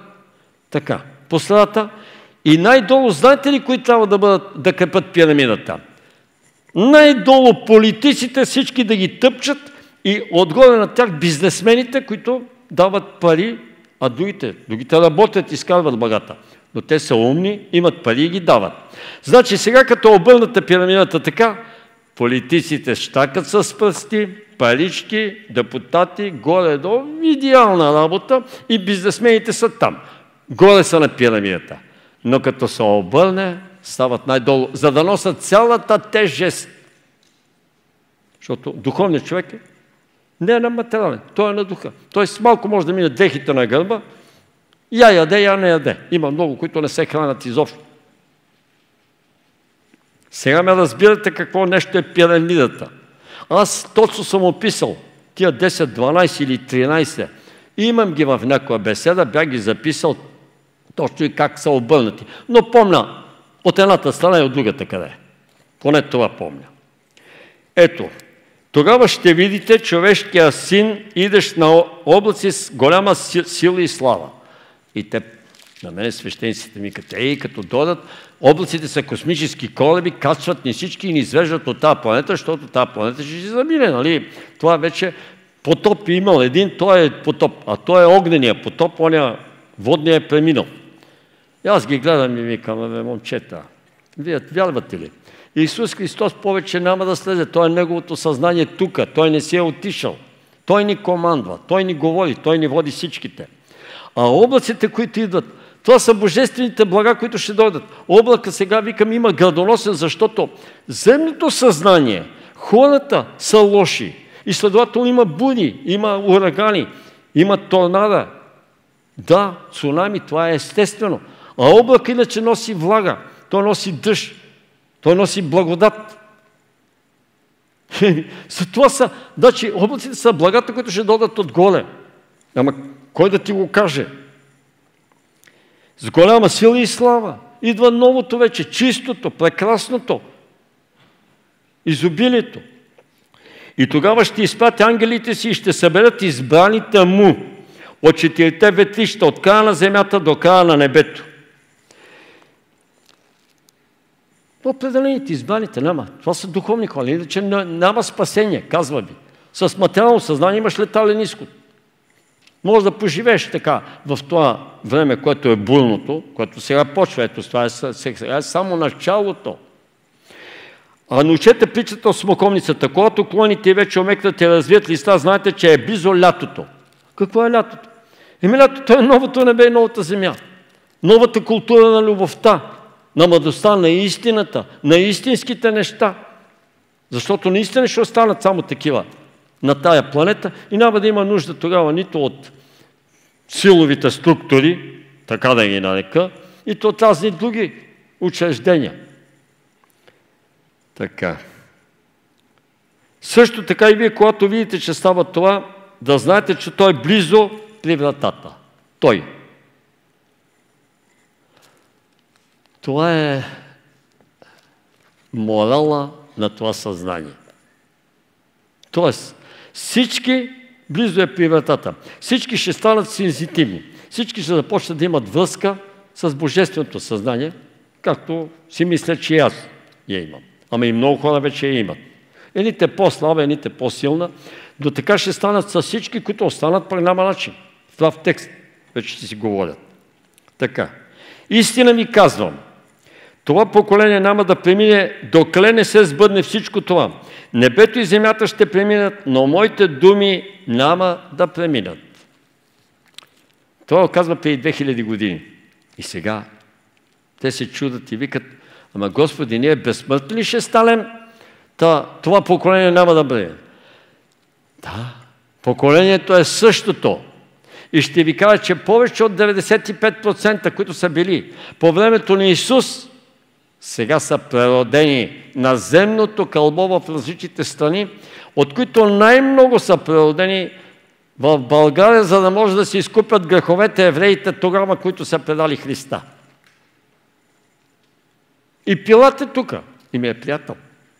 Викам, Пилат, че ти знаеш, че това, след това преражда, ти си изчистваш напълно кармата. Прекрасен човек е сега. О, сега така се грижи. И вика, ама викам, ти тогава си измия ръцете и каза, не виждам никаква вина. Ама евреите искаха и викаха. И ти им го даде. Е, вика, какво те ще направи? Ми викам, точно това те ще направиш, да им го дадеш. Защото това е сценария, така пише. За да остане за човечеството, то е подвиг, който да се жертваш за една планета, за една кауза, в името на Божествената любов. И така. Небето и земята ще преминат. Но сега по-нататък. А за оня ден или час никой не знае, нито ангелите на небесата, нито синът, а само Отец. Е, вече знаете. Часа почна. Не времето като дойде. Часа, после ще дойде и минутата. А после и секундата и мига. За всеки един от нас и за човечеството. Сега, внимавайте, бдете и молете се, защото не знаете кога ще настане времето. А времето вече е настанало. Той им го казва преди 2000 години, а сега започва изпълнението. И ние ще бъдем всичките свидетели на това. Кой повече, кой по-малко, то колко докъде може да видим. Това е положението. И заради това виждате как, как се обърка света. Народ против народ, държава против държава. Изобщо всички. Това, но това трябва да стане. И колкото по-зле, толкова по-добре. И един ми вика, бе, Георги, тебе не те ли е страх, бе? Виж как, колко по-зле става. Ама идеално, бе. Става по-зле за нищите духом. За мен е много по-добре. Защото аз виждам как живота ми се става все по-добре, по-добре, по-спокоен, всичко си е точно. Но той гледа, ама ти нормален ли си, бе? Виж какво става по света. Ама ти си ненормалния. Не аз. Защото почваш да вярваш и виждаш тия работи. Това са на физическо ниво. Тия работи трябва да се случат. И точно за тия хора трябва да се случат. Когато преди, имаше 6-7 години бяха точно терористичните актове в, и във Франция, и на един пазар един се гръмна там, уби 50 човека или колко и 200 ранени имаш, от които половината на инвалиден стол се остана. Аз съм го казал този пример хиляда пъти. И моите приятелите ме питат, пиеме си кафето. Той какво става. Викам сега, хоп, ще питаме Господа. Защо това е станало? Нали, без него нищо не става. Ами да, той ако е добър, той е добър и вселюбящ, Но ние сме лоши и сами сме си направили това. Питам го и превеждам. Директно им казвам. Вижте сега какво казват отгоре. На този пазар трябваше да загинат 50 човека, от които 200 да бъдат ранени, от които 100 да седнат на инвалиден стол да си научат уроците. А тия 50 трябваше да заминат. Един обаче не трябваше да замине. Жена му се обажда по телефона, платила го на пазар и той за да не отиде до някакъв мол там далеч или някакъв хипермаркет, отива на този пазар. Той вика не беше писан да отиде. И изведнъж жена му звъни по телефона и вика, миличко, къде си? Той вика, на пазара, тук взимам за тебе. Абе, идиот, казах ли ти къде да отидеш, бе? Моментално се маха и там и отиваш. Ти нормален ли си, бе? Няма да ям тази храна, ще изфърля от този пазар, бе. И после да му пили на главата. И той оттам дърпи след 5 минути казва, бау. Ага. И още това много ги впечатли, като им казах. Вижте какво. Господ в момента ми казва, че е приблил колко мравки да замине. Колко комани, колко мухи на пазара. От тази бомба. Значи, за всички същества мисли. Не се шегувам. Знам. Аз знам и ми много притчи. Оне, дето една баба му казала, внимавай, той е бил на 12-13 години. Не дай да се къпеш в морето, да влизаш с лодка, защото писано ти е да умреш от вода. Обаче той минали 10, 15, 20 години, стана 30, 40 и един приятел, него си купил една яхта. И голяма такава, 20-30 човека и го поканил. Он изобщо забравил, кацва се на яхтата с другите ядене, пиене, тя влиза навътре, изведнъж се явява една силна буря и е потъпва. И сега излита той нагоре, отива и вика, Господи, аз се сетих вече като, нали, като загинах, сетих се, че не трябваше да влизам в морето. Ама може ли покрай мене там, вика, 20-30 човека още загинаха, вика така бе, тия невинни. Господ вика, а, Господ, моето момче, ти знаеш колко зол видях, докато ви събере всичките на куп, бе. На всичките им било писано да си заминат. Нали? Вика, колко зол видях да ви събера там на куп и то точно на тая яхта. Иначе, ага, а не само той. Затова всичко е определено, ма това съм толкова спокоен, особено като се оставиш в ръцете на Всевишния, е много добре. Да. Сега, тук от Евангелието няма какво, обаче от Златните завети искам нещо да ви прочета и давам думата на Силмина. Има ли време още, Силми? Така. Ще ви ги прочета тия работи. Та книжка, повече от половината ми е диктувана. Аз, моя опит е тук, само че е малко. Сега вижте, искам да кажа, който се занимава с Слово и е духовен просветител, аз се смятам за редник, духовен просветител, това е. Но е много отговорно да се занимаваш с Словото и говоря, продължавам пасажа за лъжехристите, лъжехристи и лъжепророци. И по принцип, ето какво съм написал тук, сигурно ми е диктувано. Всеки, който се занимава с духовно просветителство, духовно учителство, духовно лечителство, духовно пророчество и тъй нататък духовни неща, си играе с огъня. Опасна е играта с огъня. Защото ако не си дорасъл да го владееш, а в ръката си имаш кибрид, запалка, свещ или главна, можеш да запалиш такъв голям пожар, че в него да изгорят много души, но със сигурност ще изгориш и самият ти. Словото е най-големият, най-прекрасният, най-добрият и най-опасният огън в Вселената. Това вътре е написано с главни букви. На децата обаче не е разрешено да си играят с огън. На земните жители също. С кой огън? С небесния. Защото на земята жителите са детската ясна, детската градина, гениите и тия най-извисените, първи, втори до трети клас. Казва го учителя и аз, аз го цитирам. За да те дадат кибрита на небесния огън, първо – трябва да имаш небесен ръководител. И когато извървиш пътя на обучение в небесната школа и си вземеш изпитите, тогава имаш право да палиш огън в сърцата на хората. Днес ще имам право, ма 11 години съм учил в Академията за космически науки. Не един ден и да ме пуснат. Вика, тя върви, разправяй се там. Ами аз съм рейки учителка, аз съм рейки лечителка. Какво? Еми за една седмица изкарах курсовете, първа степен рейки. За две седмици втора степен. Треп. Ма питам един източен адеп. И той вика, абе Георги, тия нормални ли са? Бе?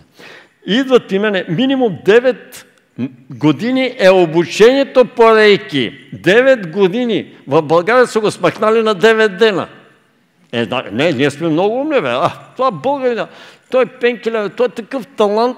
Всичките тук са все нещо, все духовни, все командири. Всеки иска да бъде началник, директор, командир, президент, всеки всичко може. Всеки българин се бие в гърдите и всеки иска да бъде началник. По-низко не, в никакъв случай. Така. Ето какво... Да, да го дочета. Така. Но най-напред трябва да запалиш своето сърце. Нали, трябва да палиш, имаш право да палиш огън сърцата на хората. Но най-напред трябва да запалиш своето сърце и то да свети ярко и да топи силно всички сърца около него. Та дори и да изгоди до край. Не се безпокой, че ще изгубиш вечността. Вселюбящия ще го възкреси заради твоята саможертва. Да внимаваме в това дело. Да внимаваме, да внимаваме. Ето, казвам ви го три пъти. Да внимаваме с огъня. Първо с човешкия, второ с ангелския, трето с божествения. Така. Сега тук има нещо, да, нещо за, точно за това време, как трябва да действаме и какво трябва да правим. Тук съм отбелязал само три неща. Но и това трябва по-дълго като първо.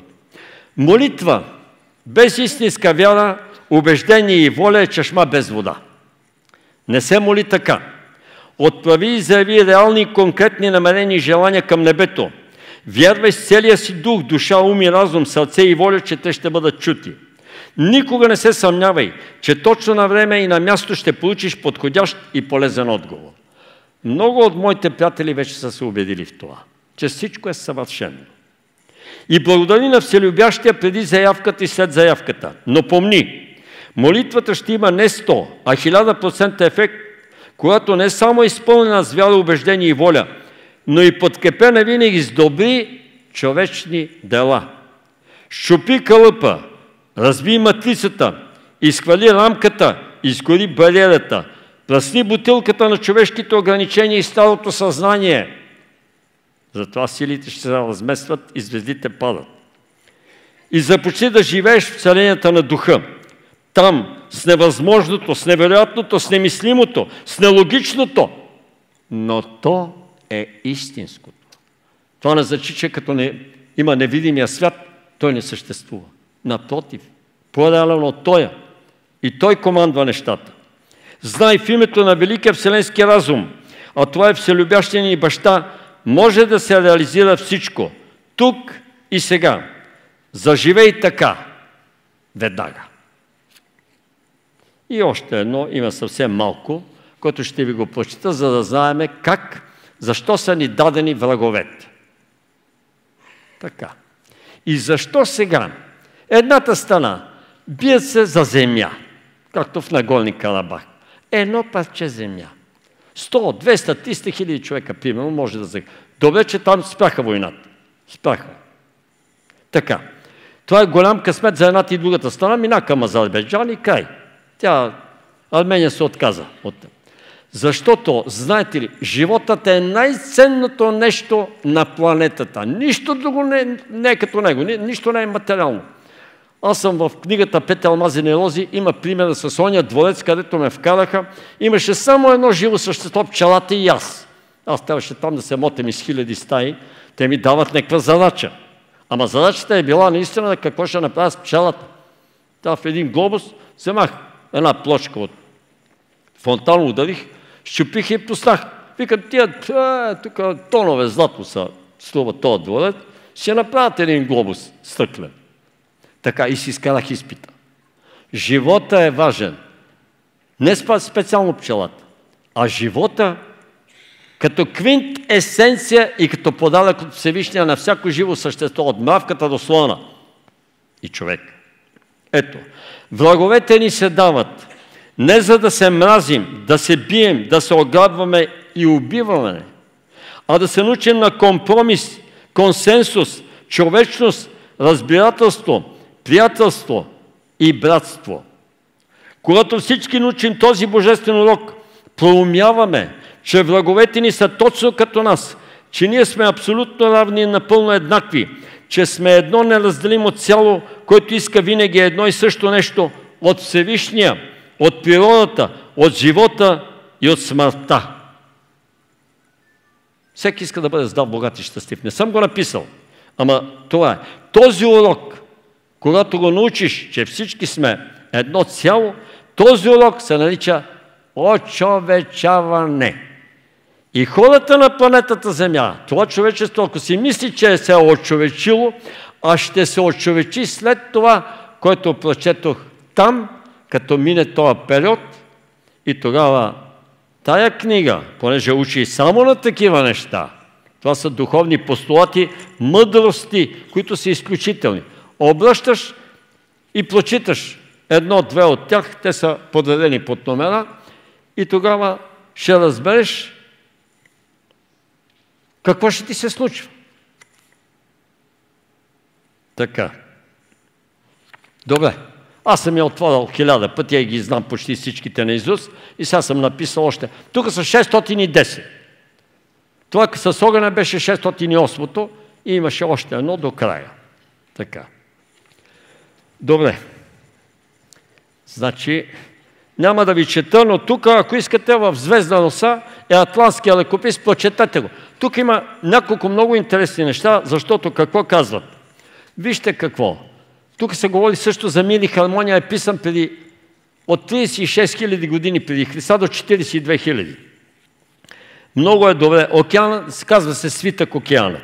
Само ще ви прочета нещо. Нагоре е безкай. Така, надолу е затвор. Още по-надолу е решитката. Помни, никога не атакувай. Знай, не атаката, а мъдрото отстъпление носи винаги истинската победа. Знаете ли, в Златните завети пише така един постулат, пак го цитирам. Победителят е победител до тогава, докато разбере и проумее, че и най-голямата победа всъщност е загуба. Имам пример за това. Насилието е най-голямата слабост. Насилието е катина, който никога не се отключва. В килията е насилникът. За него никога няма свобода. Той зависи. Той се... А, за всяка врата има ключ. Какво е името на ключа? Той се казва Всемир. Неговата майка е любовта. Неговият баща е истината. Неговата сестра е мъдростта. Неговите деца са смирението и всеопрощението. Ще ви цитирам не точно истината, данните ще ги съкратя, но да кажа, между две велики сили е имало война. Всичко е истина, но не, не казвам имена. Тая война продължава 4-5 години, колкото е, и така. И от едната страна падат 2 милиона убити и 3 милиона ранени, от които половината, милиони и половина са военни инвалиди вече. Така. От другата страна пада 1 милион убити и 2 милиона ранени, от които 1 милион са военни инвалиди. Сега, тази страна, която губи по-малко жертви, е победената. Другата е победителката. Но на каква цена? Знаете ли, при нито една война и военно стълкновение, поне за мене, наистина няма победители и победени, а има оцелели и загинали. Загинали и оцелели. Това е истината. Да останеш жив, Всичко може да направи, защото живият човек може да го направи. Римляните на времето имали една поговорка, която казва по-добре мъртъв лъв, отколкото живо куче. Боже, колко не са били в час. Ама какво е мъртвия лъв? Ами храна на хиените. Ако хиените не дойдат, червите ще си свършат работата. Мъртвия лъв. За... Те искат да кажат, ти живей като цар, като император, като богаташ. 5, 10, 15, 20 години, това е лъвски живот, царски. После мреш. Е да, ама какво става? Нищо. А живото куче? Живото куче може да ти пази къщата, може да ти съобщава, може да свърши някаква работа. Ако не се върши, ти тегли шейната. Значи, живота има някакъв шанс. Оне, който се е прехвърлил, да, душата има шанс горе, разбира се, две не е няма. Но шанс повече тук не. Затова животът е най-ценното и всякаква една материя не струва толкова да отидеш да се биеш за материя. И когато казах на един юнак, че неговия шеф, той идва и ми се изповядва от мафията, една чуждестранна мафия, както и да е, и вика, аз съм го казвал този случай, вика, моя има 28 убийства, само за едно осъден, на 20 години. Другите не са разкрити, но той ги има. Кажи му, че е прекрасен човек, Георги Издовски го казва, поздрави го от мене. Той вика, ама искам сега да се отърва вече и да се прибирам в България. Ама ти знаеш, викам, мафията пуска ли? Викам, тебе ще те пуснат. Ако го поздравиш и му кажеш, Георги Издовски те поздравя, а той не ме познава, да видиш. Как след три месеца си дойде и вика, идеално всичко се уреди, познаме само, че не ми даде един лев. А там камара с пари, това са мафия. Полагат му се неговия дял. Това ме наказа прибра и вика, стави върви и си живей с жена ти, щастлив и волен живот. Ага. И той ме пита, защо ти, Георги, имаш такова съзнание и така казваш, като всички викат, че той как може, той убие си така. Ами защото той е прекрасен човек. Викам, никога не е убивал за пари, само за чест. И освен това, е бил в контингент, който където се е бил в една чужда държава. Той е герой. Той е издържал там и се е бил за правото на своята родина, примерно. Отишъл там, той е военен. И след това е станал мафиоз. Ага. И така трябва да се гледат нещата. А не, той е такъв, той е такъв и тази ситуация е такава. Е, не е такава. Аз ви казвам, че не е такава. Истината е съвсем друга. Но вие сами, това ви е за домашна, ще си стигнете, като гледате събитията по света, кой е пав и кой е крив сами. Или пък ще ги обичате еднакво като мене. И тия, и тия. Еднакво. Викам, Господи, колкото може, и ти, и ти, ама знам кой е по. Синко сега е, ама после може да се обърнат нещата. И това е така. Защото на земята и най-големата обич харесване това, ама цуни, гуни, ама мило, ама скъпо, ама не знам какви си. И в крайна сметка мине медения месец, поне за мене беше така. На другите една година изкарат, някои от приятелите, или минат 5 години и след 10 години вече не може да се гледат. А ако на сила си останат до пенсия, един приятел викаше, знаеш ли какво идва Георги, като се пенсионирах? Той възрастта така. Дойдоха годините на тихата ненавист. Вече уморени сме да се каламе и да се разправяме. И да се обиждаме. И вика, само се мълчим и се гледаме на кръв. Благодаря ви. Значи, с всички вас съм и с всеки един по-отделно. Ще една, тук няма да забравя, защото Вална ми е един от любимите градове, ще да ви направя една медитация, мълчавливата медитация за 3 минути, ама заедно с Силвина. Ще направим, така малко да ме подсили. То някой е присъствал на медитацията и знае за какво става въпрос. Дали? Дори с мълчанието тя е по-силна.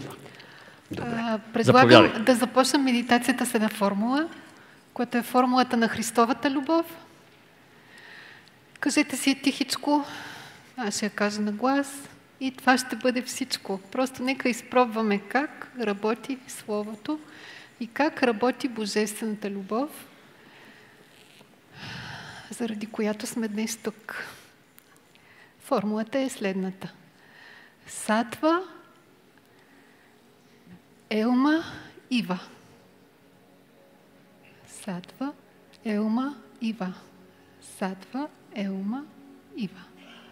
Което значи слава на Христовата любов.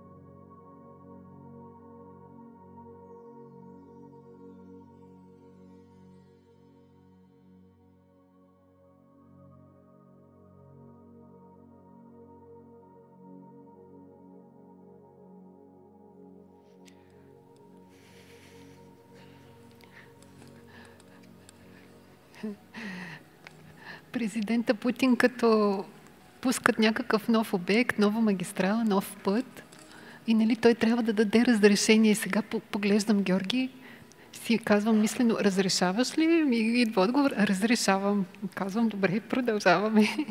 Шегувам се, за да лекичка по лекичка да ви извадя от медитацията. Как се чувствате? Усетихте ли боцкания в сърцето? Или някакво вълнение там? Доста силно, нали?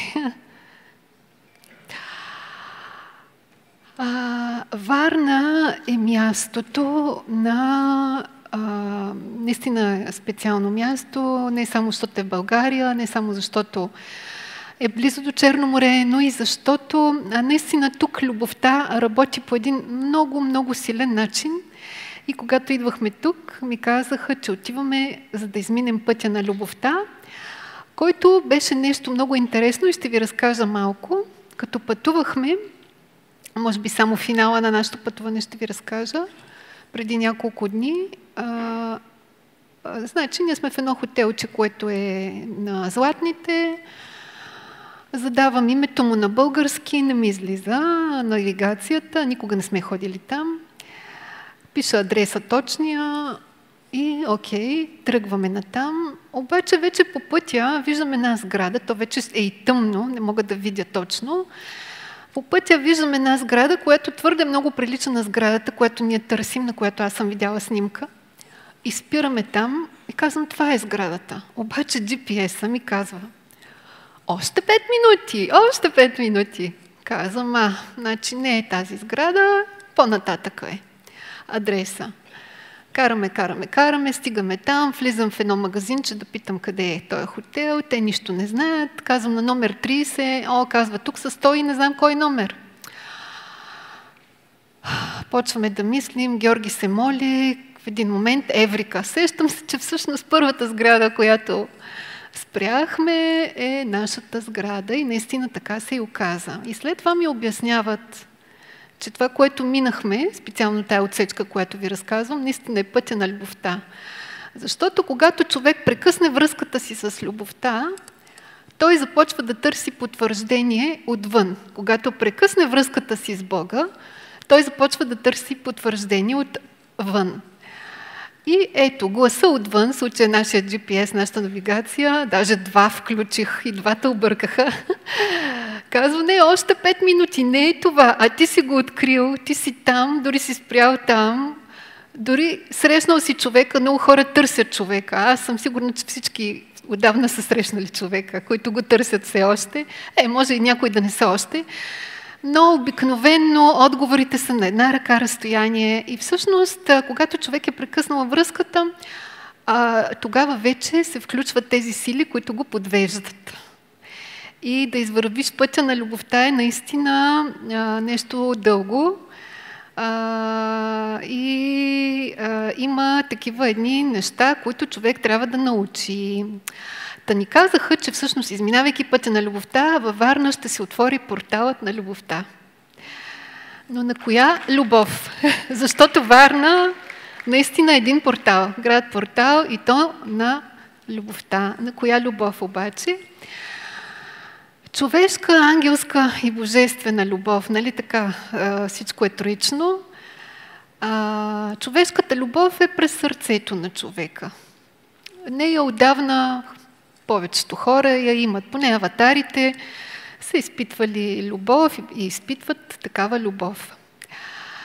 Ангелската любов преди няколко месеца се отвори, като също ми ги, са ми ги степенували, че ангелска любов, всъщност всичко зависи от егото на човек. Победиш ли егото, идва любовта. Дойде ли любовта, идва връзката, идват светлите и добри неща в живота на човек. И когато егото падне под 8%, тогава започва да се проявява ангелската любов, което е функция на десетото тяло на любовта на човека.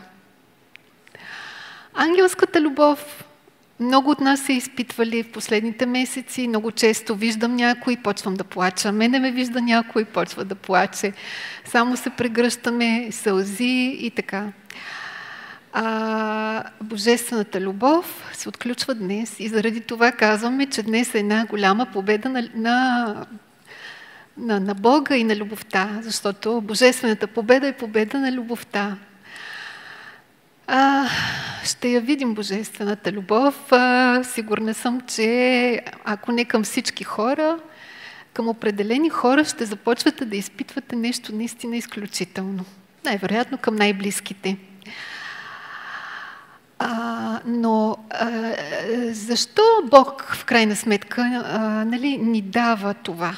Да, защото сме го заслужили, в това съмнение няма. Както и Вайла в началото каза, доста се потрудихме. Това са наистина години, много труд.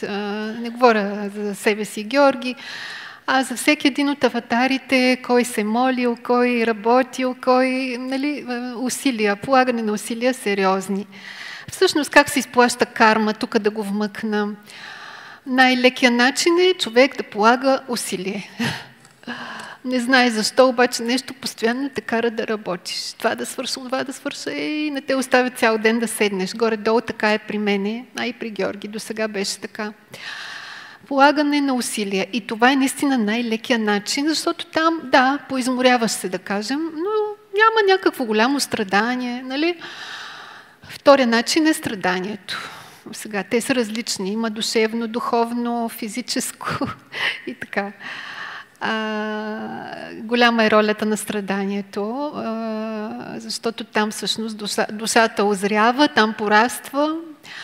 А и въобще, когато душата влезне в досек с кармичните процеси, тя започва да, да, да учи уроци и съответно да расте, да се променя.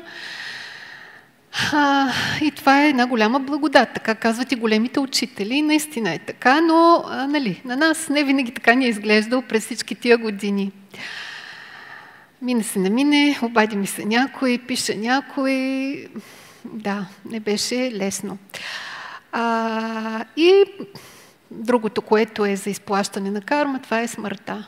А, когато човек, душата премине през трансформацията на смъртта, тя, да кажем, един човек, който е бил убил, а, знам ли, 20 човека и сега веднъж става така, че той да загине. Както мога да ви убедя, че всички тия хора, които в момента загиват, това са хора, които някога са убивали. Не може е така просто да се случи нещо.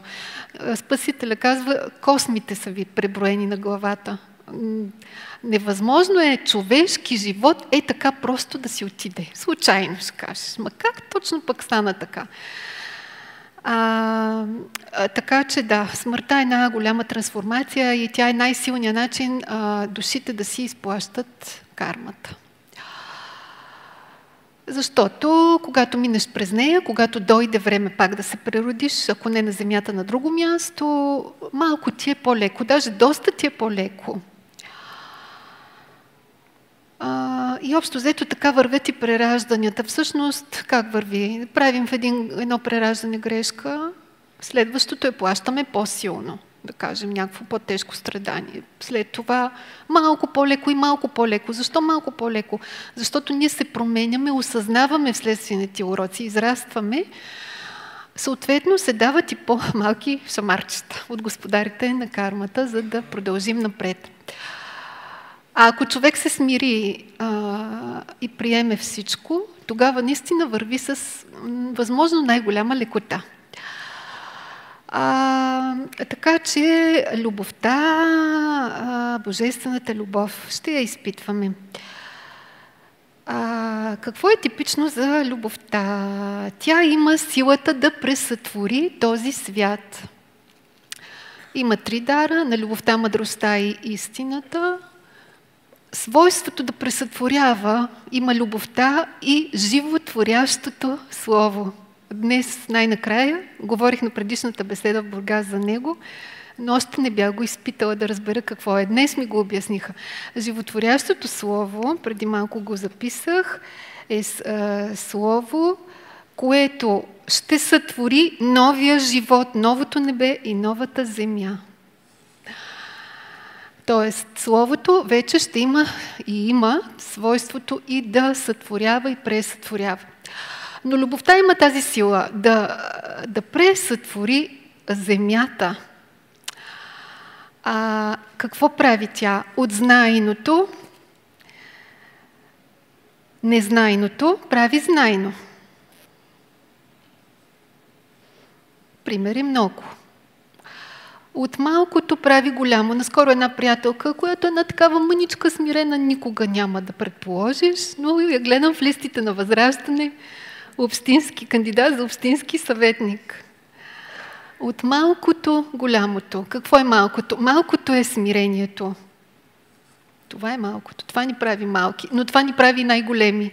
И ако ти си малък, идва времето да станеш голям. Както Георги говори за пирамидата. Пирамидата ще се обърне. Няма друго бъдеще за Земята. Всички тия катаклизми, всички тия войни са именно с тази цел. Всичко, което е нише да си отиде или да се пречисти, за да може напред да продължат новите светли модели, които ще бъдат и моделите на новата раса, заради която сме тук. А, от невидимото любовта прави видимо.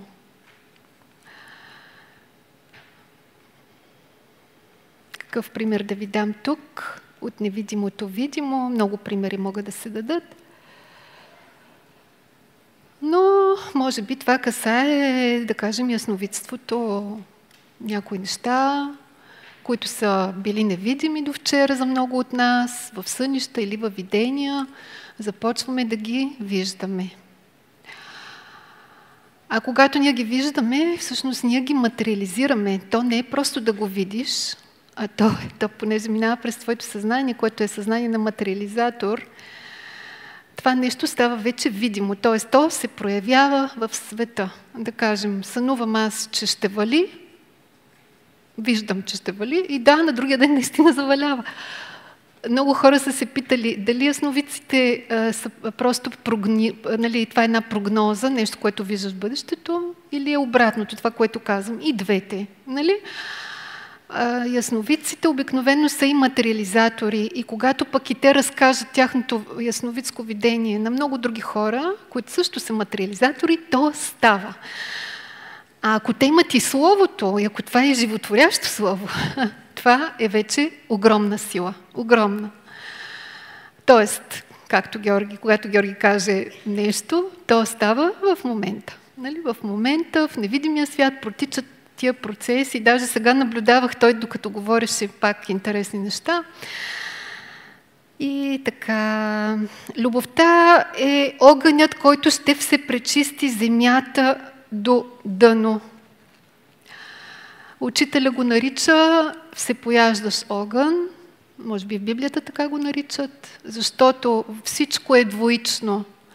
Ако за нас любовта е най-висшата проява, която ще изпитваме един към друг. Същата тази сила има и обратна страна и тя е всепояждащия огън. Тоест, тя е нещото, което ще изгори старите модели на Земята. Старите стереотипи, старите съзнания. И точно тя е всъщност, което ще донесе и носи вече голямата промяна. Любовта трасира пътя на душите. За това съм, съм, сме говорили неведнъж еволюция, инволюция, кой е нагоре, кой е надолу, изборът е на всеки. Доста усилия се положиха последните, наистина, доста години, десетина години. Реално от 2012, когато започнаха кармичните процеси, всеки имаше нали, възможност да, да се определи.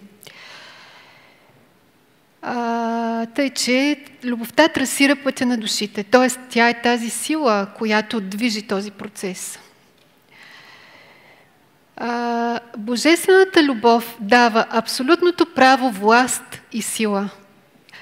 Това са много важни три думи и малко ще ви ги обясня.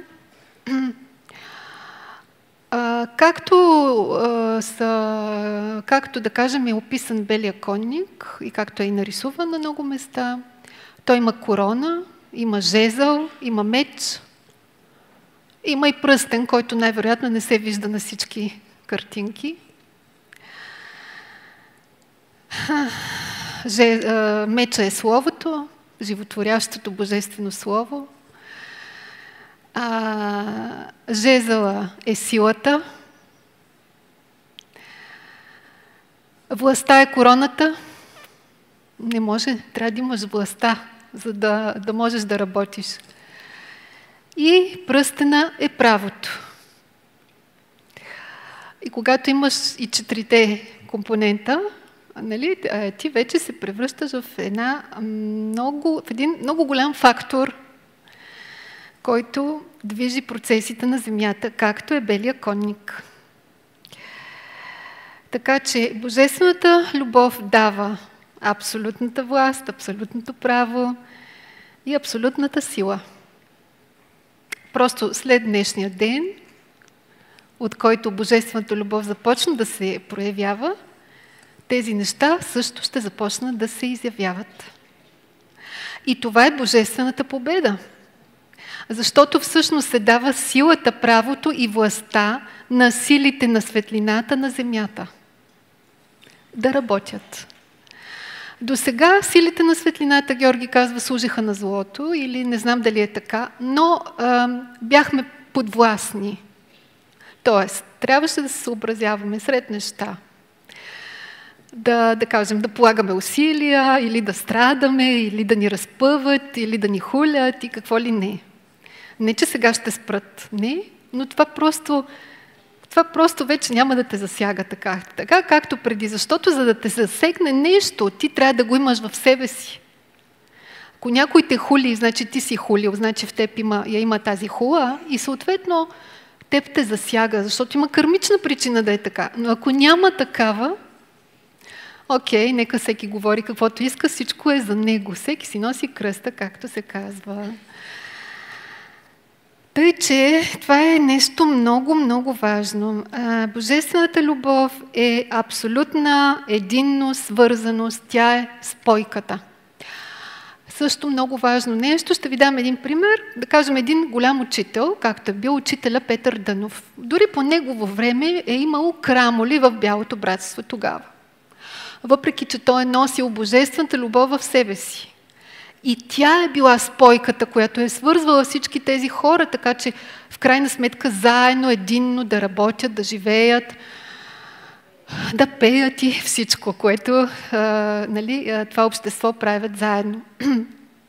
И така е със всеки един велик учител. Той носи в себе си божествената любов и той е като един, как да кажа, като едно слънце, което свърза всички в един организъм.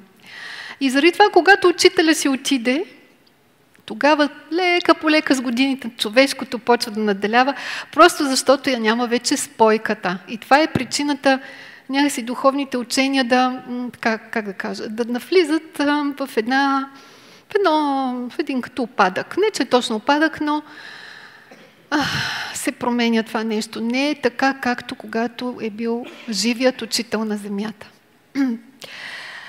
А, това също е много важно. Божествената любов е единно свързано с спойка, а, защото това е свързано с, в нас самите. Много важно. По принцип, организмите на хората са разпърчатосани. Аз нали, в обучението доста, доста говоря за, за това, какво е човека, как са свързани телата, как си взаимодействат а, и това раз, разпърчатосване, защото всяко едно тяло е на различни вибрации. При обикновения човек говоря, за да се получи единство на телата на човека, всичко в него трябва да е в пълна хармония. Тоест, всяко едно тяло, всяка една структура да е в хармония, в най-висше възможно измерение. И тогава вече това става един организъм.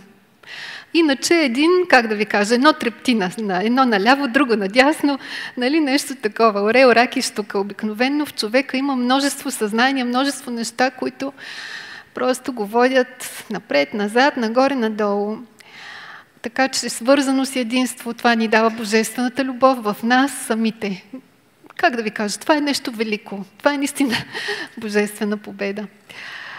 А велика цел и велика победа.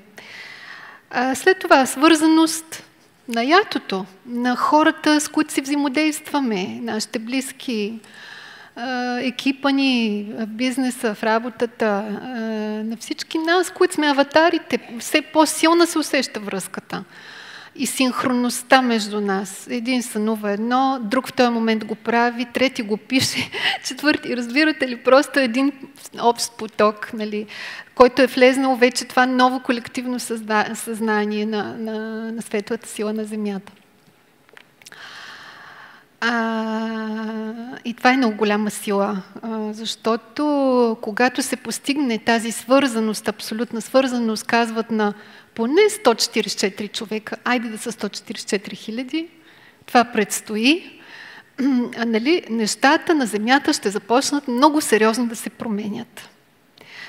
Много хора си мислят, че като се сменят политиците, оттам ще дойде промяната. Вие вярвате ли в това? Не, но то, то е все пак показател. То е индикатор за това докъде е достигнало съзнанието на един народ. Нали? Какви политици има. А, но голямата промяна реално я носи всеки един от нас и всички ние, когато работим заедно. Но ето, че и много аватари, това също предстои, ще започнат да излизат напред и в бизнеса, и в политиката. Тоест,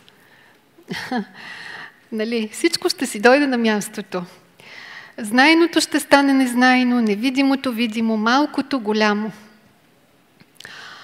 А, така. Другото, за което искам да говоря, но може би дали да продължа с това.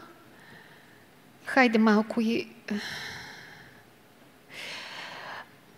да, те са няколко изречения. А, за белия конник пак. Белият конник е тук с цялата си армия. Белият конник, Георги каза, това е новото съзнание, новото Христово съзнание. С цялата си армия, това означава, че вселяванията на аватарите са завършили.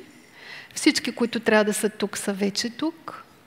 Ще предстоят вече и двойките да се събират. Божествената любов ще работи, няма къде да ходи вече. Нали така? Харесва ли ти това, Миленка? така, а, с цялата си армия, т.е. цялото това Христово съзнание вече е в а, хора подходящи, които да работят на земята. Георги е казал на едно място, по друг повод, но така в контекст тук го вадя и го казвам. Е, белия конник, той не се избира. Нали, преди мислеха, че е Тръмп, сега мислят, че е Путин. А, не се избира. Той става. Тоест, това са ни огромни трансформации, много дълбоки, през които преминава този човек, ако това е човек, но аз смятам, че има и такъв човек. Не е само съзнанието на, на колектива на аватарите. А, така че, когато завършат всички тия трансформации, той става белият конник, т.е. той има правото, властта и силата да работи. Абсолютните. И те са дадени от цялото небе. И в този смисъл, нали, те казват, че е Христос. Не е Христос. Христос вече е бил на земята. Втори път той едва ли ще дойде скоро някога пак на такава планета. Но в този дух, в този човек са вложили и Христовото, и Божественото, и Всемирното съзнание, и всички, всички иерархии на небето са вложили в него, за да се превърне той в Христов дух. Когато на Земята има такъв Христов дух, това се случва веднъж на 2000 години, това са преломните времена, които човечеството прави един еволюционен скок. Това е смисъл на всичко. За да премине от пета раса, всяко преминаване от една раса в друга раса, преминава през някакво сътресение. То няма как иначе да стане. Просто няма как иначе да стане. И заради това, периодично, идват светли, а, светли представители, на които небето, в които небето влага много, нали?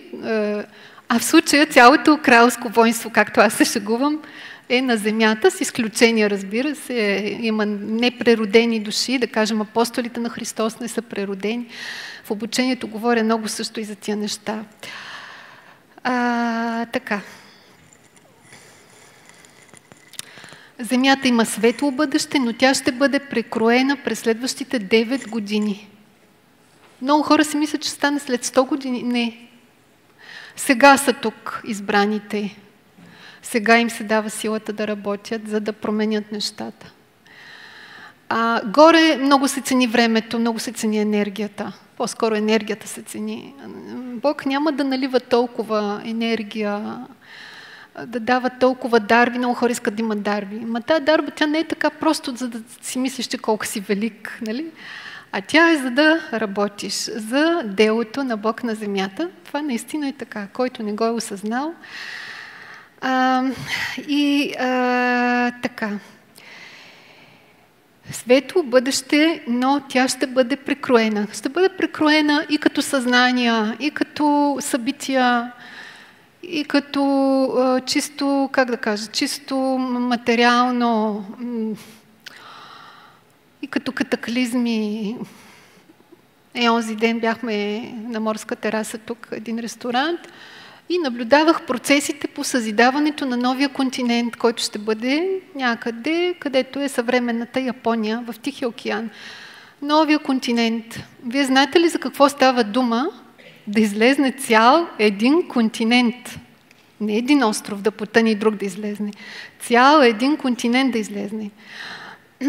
А, нещо колосално, което, което в близките 9 години ще го повтаряме. Затова Георги казва, в близките 9-10 години Земята ще бъде неузнаваема и като хора, които как ще живеят, и като начин на живот, и като отношение към децата, към бизнеса, към парите. Много важни неща. Нали, материалното съзнание, колко време го борим това материално съзнание.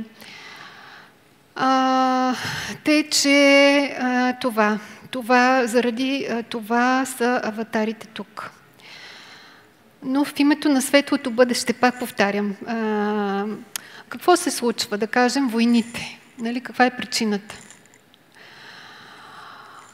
А, казали са ми, че на всички точки, където е убит Христов дух, ще има големи войни. Ето сега евреите, започна се. Евреите са убили Христос. И тези, които са го убили, горките те, нали, колко са страдали през Втората световна война, имало е защо да страдат и има, има, има защо и да продължат да страдат. Това го казвам не, защото аз съм най, може би най-милостивото и състрадателно така, а, хайде да не кажа голяма дума, но а, а, просто си има кърмични причини и закони, които няма как да се заобиколят. Няма как да се заобиколят. Има неща, които, да, които могат да се отменят, но това са неща, които не могат да се отменят. Доста земетресения и конфликти, свързани с България, бяха отменени, както бяха и отменени доста войни и конфликти в славянските страни, за които имаше опити да се случат такива конфликти, но те или загинаха в, начен, в началната им фаза, бяха потушени. Всичко е от светлата сила. Не си мислете, нали, че... Но тя работи чрез всеки един от нас. Нали? политиците, които са... Но аватарите във властта, това е много важно. Да кажем, Русия се управлява изцяло от аватари. Който и министър, а, губернатор, кмет, какъвто и да е политик, бизнесмен, а, а, човек на изкуството да проверя, всички са аватари. Просто изумително. Как ги е подредил Бог? Явно не случайно, защото той разчита на тази страна да изнесе прехода. Докато ролята на България, тя е малко по-скрита, защото ние сме мънички. Може ли България сега да се изпъчи и да каже, е, ние сме тук, ние правим всичко по света? Ами те веднага ще ни, ще ни правят не знам какво. И Бог не иска това. Бог в сценария не е а, Христос новия, Христов дух да бъде разпънат да бъде убит, както до сега се е случвало. Но на всички тия места, където такъв човек е пострадал, да кажем, Украина е пострадал. Диониси, ня, някогашната Колхида, бог Диониси, бог Дионисус е убит там. А, нали, Палестина и да не ги изброявам. Така че от една страна е състраданието, от друга страна е справедливостта. и, и в крайна сметка всичко е божествената воля. Нали? И до последно има шанс. До последно има шанс, но навлизат вече трудните неща, които вече ще бъде трудничко да, се, да могат да се променят по някакъв начин. А, човечеството има един единствен шанс да се обърне към истинския Бог. И кой е истинския Бог? Ами той е единствения, то няма друг. Той е кой? Единствения е. Как го наричаме, а, няма значение. По-важно е не как го наричаме, а как се отнасяме, как живеем, как се държим. Прилагаме ли добродетелите, не ми ги ли прилагаме? Нали? Има много духовни хора, само като отидеш на гости, като чуеш крамолите вкъщи, разправите и като почнат да ти злословят, да ти говорят, има, това, не е, това не е духовност, това не е нали, единствения Бог. Това е единствения шанс. Се обърне към истинския Бог. Така.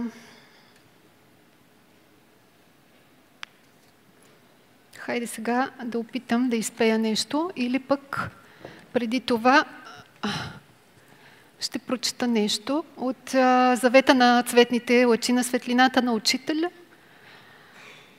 Дух святи, това са портокалените лъчи. Ако е някой в Христа, то е създание ново. И ще дойдат на тебе всичките тези благословения и ще починат. Аз ще те изцеля, за да няма раздор в тялото. Едно тяло и един дух. Да създаде в себе си двата в един нов човек. И здравето ти скоро ще прозябне. Аз съм с тебе, за да те избавям и ще те изцеля от раните ти. Ако е някой в Христа, то е създание ново. За да няма раздор в тялото. Виж колко хубаво е казано. А, това, за което преди малко говорих. Ако всичко е в хармония, всичките тела на човека, всичко в него е в хармония, а за да е в хармония, там не трябва да има никакъв негатив. Трябва да е чисто и много други неща, които всъщност трябва да бъдат сътворени и това е един много дълъг процес. От нас изисква търпение, последователност, смирение, приемане, докато Бог си завърши дял а, работата и направи от нас тези съвършени диаманти, които е всеки един човек. Но за да стане, иска доста работа. Има една песен от а, учителя, не знам, а, казват, нали, окултната музика, така наричат музиката на учителя.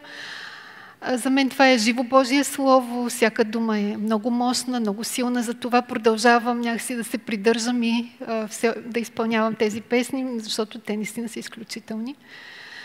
И Словото работи много мощно. Бог е любов. Сега ще се опитам да я, да я изпълня, ако сте съгласни. Добре. М? Настоявате. Добре.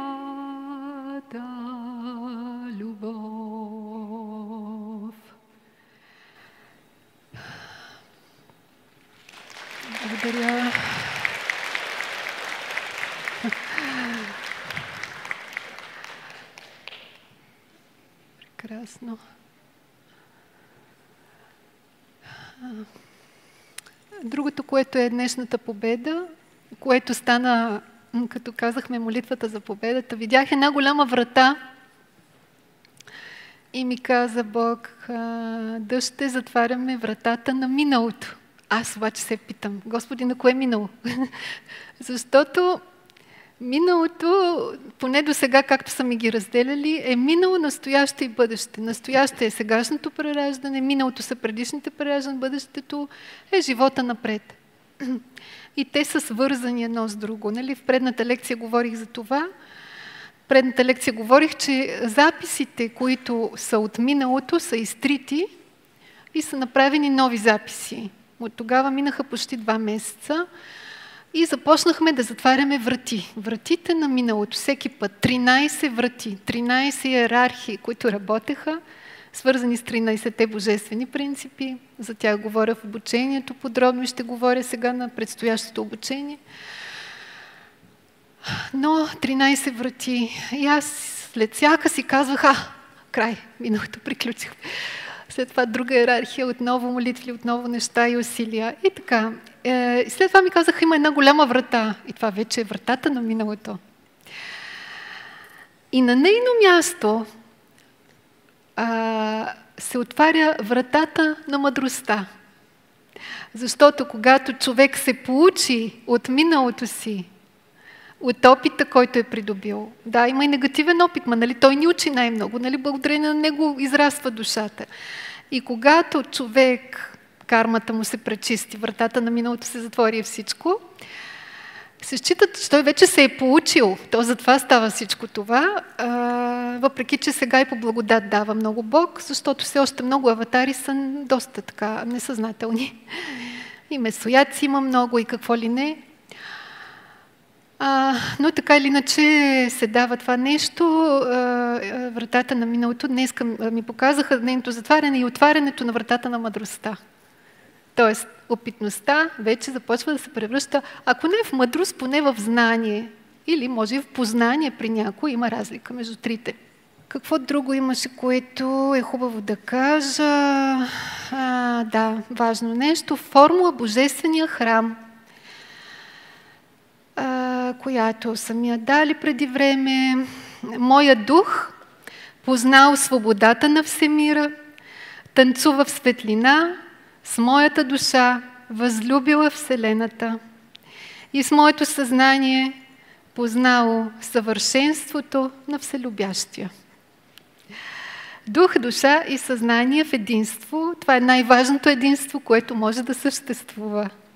Наистина, оттам се започва и всъщност всяко едно лечение, за да протече истинско лечение при даден човек, ако душата му, духа или съзнанието му са болни, няма как да се изцели физическото тяло. Винаги всички процеси в духовния свят, когато се работи с човека, започват в тази велика тройка, което е алхимичният камък от човека. Дух, душа и съзнание. Всъщност това е тази част, която остава от него след като той си замине. Всичко това се свързва в една малка сферичка. Цялата опитност от другите тела, записи, знания, всичко се изтегля и отива в тази малка сферичка. Нали? И тя се отделя. Всички други тела, нали, физическото това число, всичко се разпада. А, така че това е най-важното единство, това е и божествената сватба, това единение. Е, и ако се сещате, че като така пускахме анонси за събитието, точно тук беше акцента. Божествената победа е проявената Христова любов към душата. Божествената победа е проявената любов на Отца към Духа. И Божествената победа е проявената любов на Абсолюта към съзнанието. Велики неща, изглежда като обикновени думи, но това са велики, велики неща. Георги, имаш един постулат, който искам да, да го просто да го допълня. А, той каза, че всяка победа е, е, е загуба, всяка човешка победа е загуба. Човешка. Има разлика. Божествената победа е победа. да, е, стига вече с тия загуби, нали така. Това е победа на, на разумното, на доброто, на светлото от човека. Победа над егото, най-трудната победа, смятам. Нали? След материалното съзнание да победиш в себе си, това е всъщност най-трудната победа да победиш егото. Там е първоосновата и източника на всичките неудачи на човека. Нали? Как изглежда егото? Знаете ли, че всички тези същества, които са се въплащавали а, на Земята някога, са всъщност форми на духове, които съществуват горе. Това въжи за всяко едно нещо. Така както виждаме, да кажем, една котка, горе-долу, тя горе-долу, горе в духовния свят, тя изглежда по подобен начин, почти същия. И когато са живяли на Земята динозаврите, това са наистина горе тъмни духове, тъмни духове, особено тия хищните там, тиранозаври, не знам какви си, тъмни духове, които а, съществуват в Вселената. И а, по някаква причина им е дадено, нали, те и във форма да съществуват на Земята тези същества в една такава епоха. И всъщност егото, а, това са едни такива същества, едни такива съзнания, тиранозаври, работи, които нали, потикват човека да върши определени неща. Това са ни съзнания в него. То не е едно нещо. Много неща са. Много дълъг процес е пречистването на егото. И много голяма победа е победата на егото. Най-голямата за един човек. В молитвата, която казахме, не знам, казвайте си, тая молитва казва всичко. Смятам, че това е молитвата, която следващите месеци ще се случват, ще се развиват нещата при нас, защото така работи Словото. То не е нещо, което сега веднага става. Нали? Това е един процес. Говорим за нещо, Словото започва да работи и нещата да се случват води ни, ни, ни на подкрепя и за да изпълняваме винаги навсякъде Божествената воля на първа позиция в молитвата, защото това е абсолютно наистина най-важното нещо. Човек научи ли се на това, това значи, че той е смирил егото си, или той е на нула и а, съответно той може и да различава Божествената воля. Дадено му е тая сила а, присътвори егото във всесмирение и така нататък, великото сливане, после съзнанието, промените в съзнанието, за да пребивава в блаженство и мир, за да постигнем най-висша разумност, да сме чисти, осъзнати, в мисли, чувства, думи, дела, възлюби, благослови духът ни, да пее песента на свободата. Това наистина е духът. Духът, познал божествената любов, е свободният дух. Той получава свободата. Какво значи да не ти е свободен духа? Работила съм с много хора, нали, като лечител, които са, да кажем, в депресия. Това е дух, един, който е, ако можете да го видите, между другото и душата, и духа, съзнание на човек до сега не съм виждала, но душа и дух съм виждала. Те са като ни малки същественца, както аз казвам, нали, които са а, в сърцето на човека. И правят най-различни неща. И като погледна човека и видят душата и духът му, горе-долу, след това това, което той ми разказва, просто допълва картината, която веднага нали, всъщност се вижда от какво страда, защото то не е само от това, което преживява сега. Обикновено човек си мисли, че дори може да си мисли, че е много щастлив, а пък духът и душата му да са потиснати, нали? И да преживява там нещо си. А, така че, когато духът е свободен, а, това е наистина много, много важно и това е голямата сила, която човек а, а, придобива, защото той е пряко свързан с волята на човека. Нали? И човек придобива една голяма сила, силата на духа. А, след това душите, нали? божествената победа. Значи първо се почва да изпълняваме волята, след това съзнанието, дъхът, душите ни да са в мир, в хармония, в баланс между земно и небесно, много важно. Значи дух и материя трябва да са в баланс. Не да отречем материята и да кажем, не, не ме интересува, аз съм много духовен. Това е абсолютно грешно. Нито пък обратното, нали, залитане, просто пълен баланс. А, баланс между лично-колективно. След това вече идва здравето на телата. Значи, излекуват ли се дух, душа и съзнание? Ето, нали, в молитвата се молим за здравето на телата. Говоря ги, защото това е част от божествената победа, която е победата на всеки един от, на всеки един от нас, на всеки един, който се стреми към тези неща съзнателно и работи. Благослови води делата ни да са израз на най-великата любов към всичко и всички. Много важно така да се превърнем в храм, да прилагаме божествените принципи и добродетели, да имаме равноправна любов към всички малки и големи души. Малки, големи. Малки наричат горе животните и другите същества от другите царства. И големите са човешките души. Значи равноправна любов към всички. Това също е много голяма победа, която един човек може да постигне да вижда всичко не просто еднакво, да вижда на всичко с една любов. Всъщност, любовта е, която е, е, истински може да изравни нещата в човека.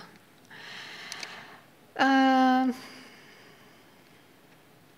да, да работим заедно, ето, да работим заедно след това. Значи, човек постигна ли това вътрешно единство и всичките неща, които са изброени, тогава вече той може да влезне в истинско единство с другите истинско приятелство, истинска любов, да им вървят леко нещата, когато са заедно, когато творят нещо с материята или каквото и да творят с музика или каквото и да било. А, така, просто тая молитва има една градация много важна. И така любов и благодарност, винаги трябва да ги казваме. Това е горе-долу от мене, което съм а, така някакси, а, което беше важно да кажа. Е, само да видя колко имаме. Още половин час имаме. Ако някой има желание да зададе въпрос, микрофонът е ваш. Искате още? Още приказки вълшебни. Добре. Приятели, здравейте! Божествено е, че сме заедно на това велико събитие, Божествената победа, победата на любовта. И по този повод направихме един специален подарък за вас. Това са едни стикерчета, на които пише Победата на любовта. Този стикер е специално зареден така че любовта наистина да победи в живота ви, да донесе победата на любовта във вашия живот и да привлече любов. Всеки, който е оставил дарение и който си е закупил книга, получава този подарък. Водоустойчиви са, може така, разбира се, не трябва да прекаляваме с мокренето, но а, са много трайни, може да си ги залепите където желаете. Това е идея на Радинка и изпълнение. Наистина специално заредено. А, да, елементите са бял гълъб, роза, сърце. Едни от основните символи на любовта и на мира.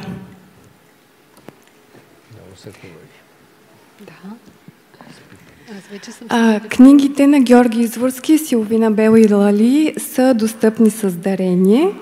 Всеки, който си е закупил книга, получава тази картичка. Може би а, вече някой от вас я има. Това е картичка с, а, 13, с лика на Георги Изворски, Силвина Белуали и 13-те завета от Христовия дух за безсмъртен живот. И това са новите 10 Божии заповеди на новото време. Изключително енергийна.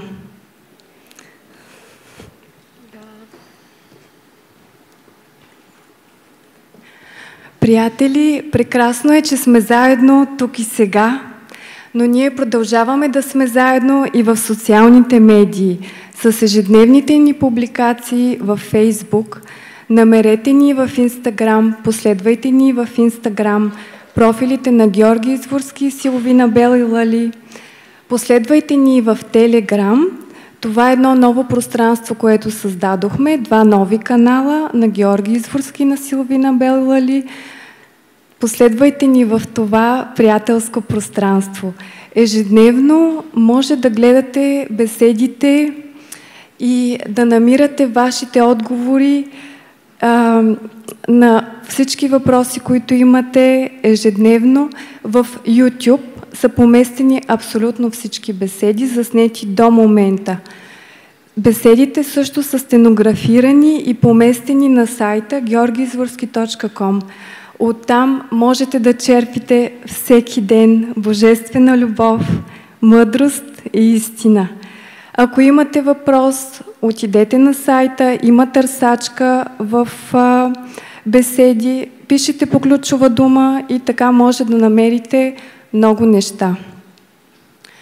Искам да обявя едно много важно събитие, което предстои през месец ноември, на 26 ноември в София – това е следващо ниво божествено лечение, обучение.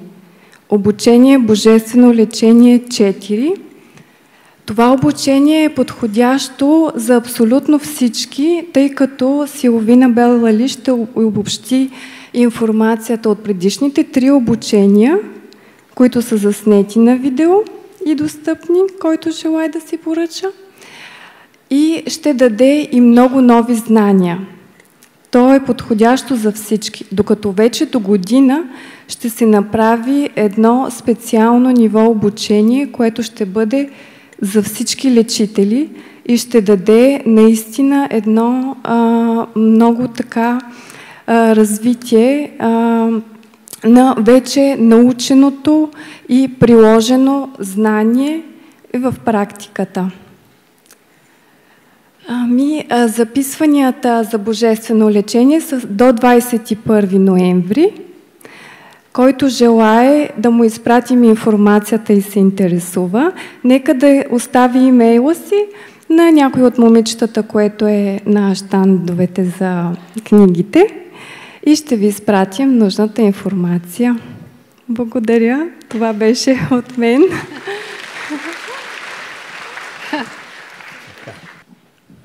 Да, добър ден.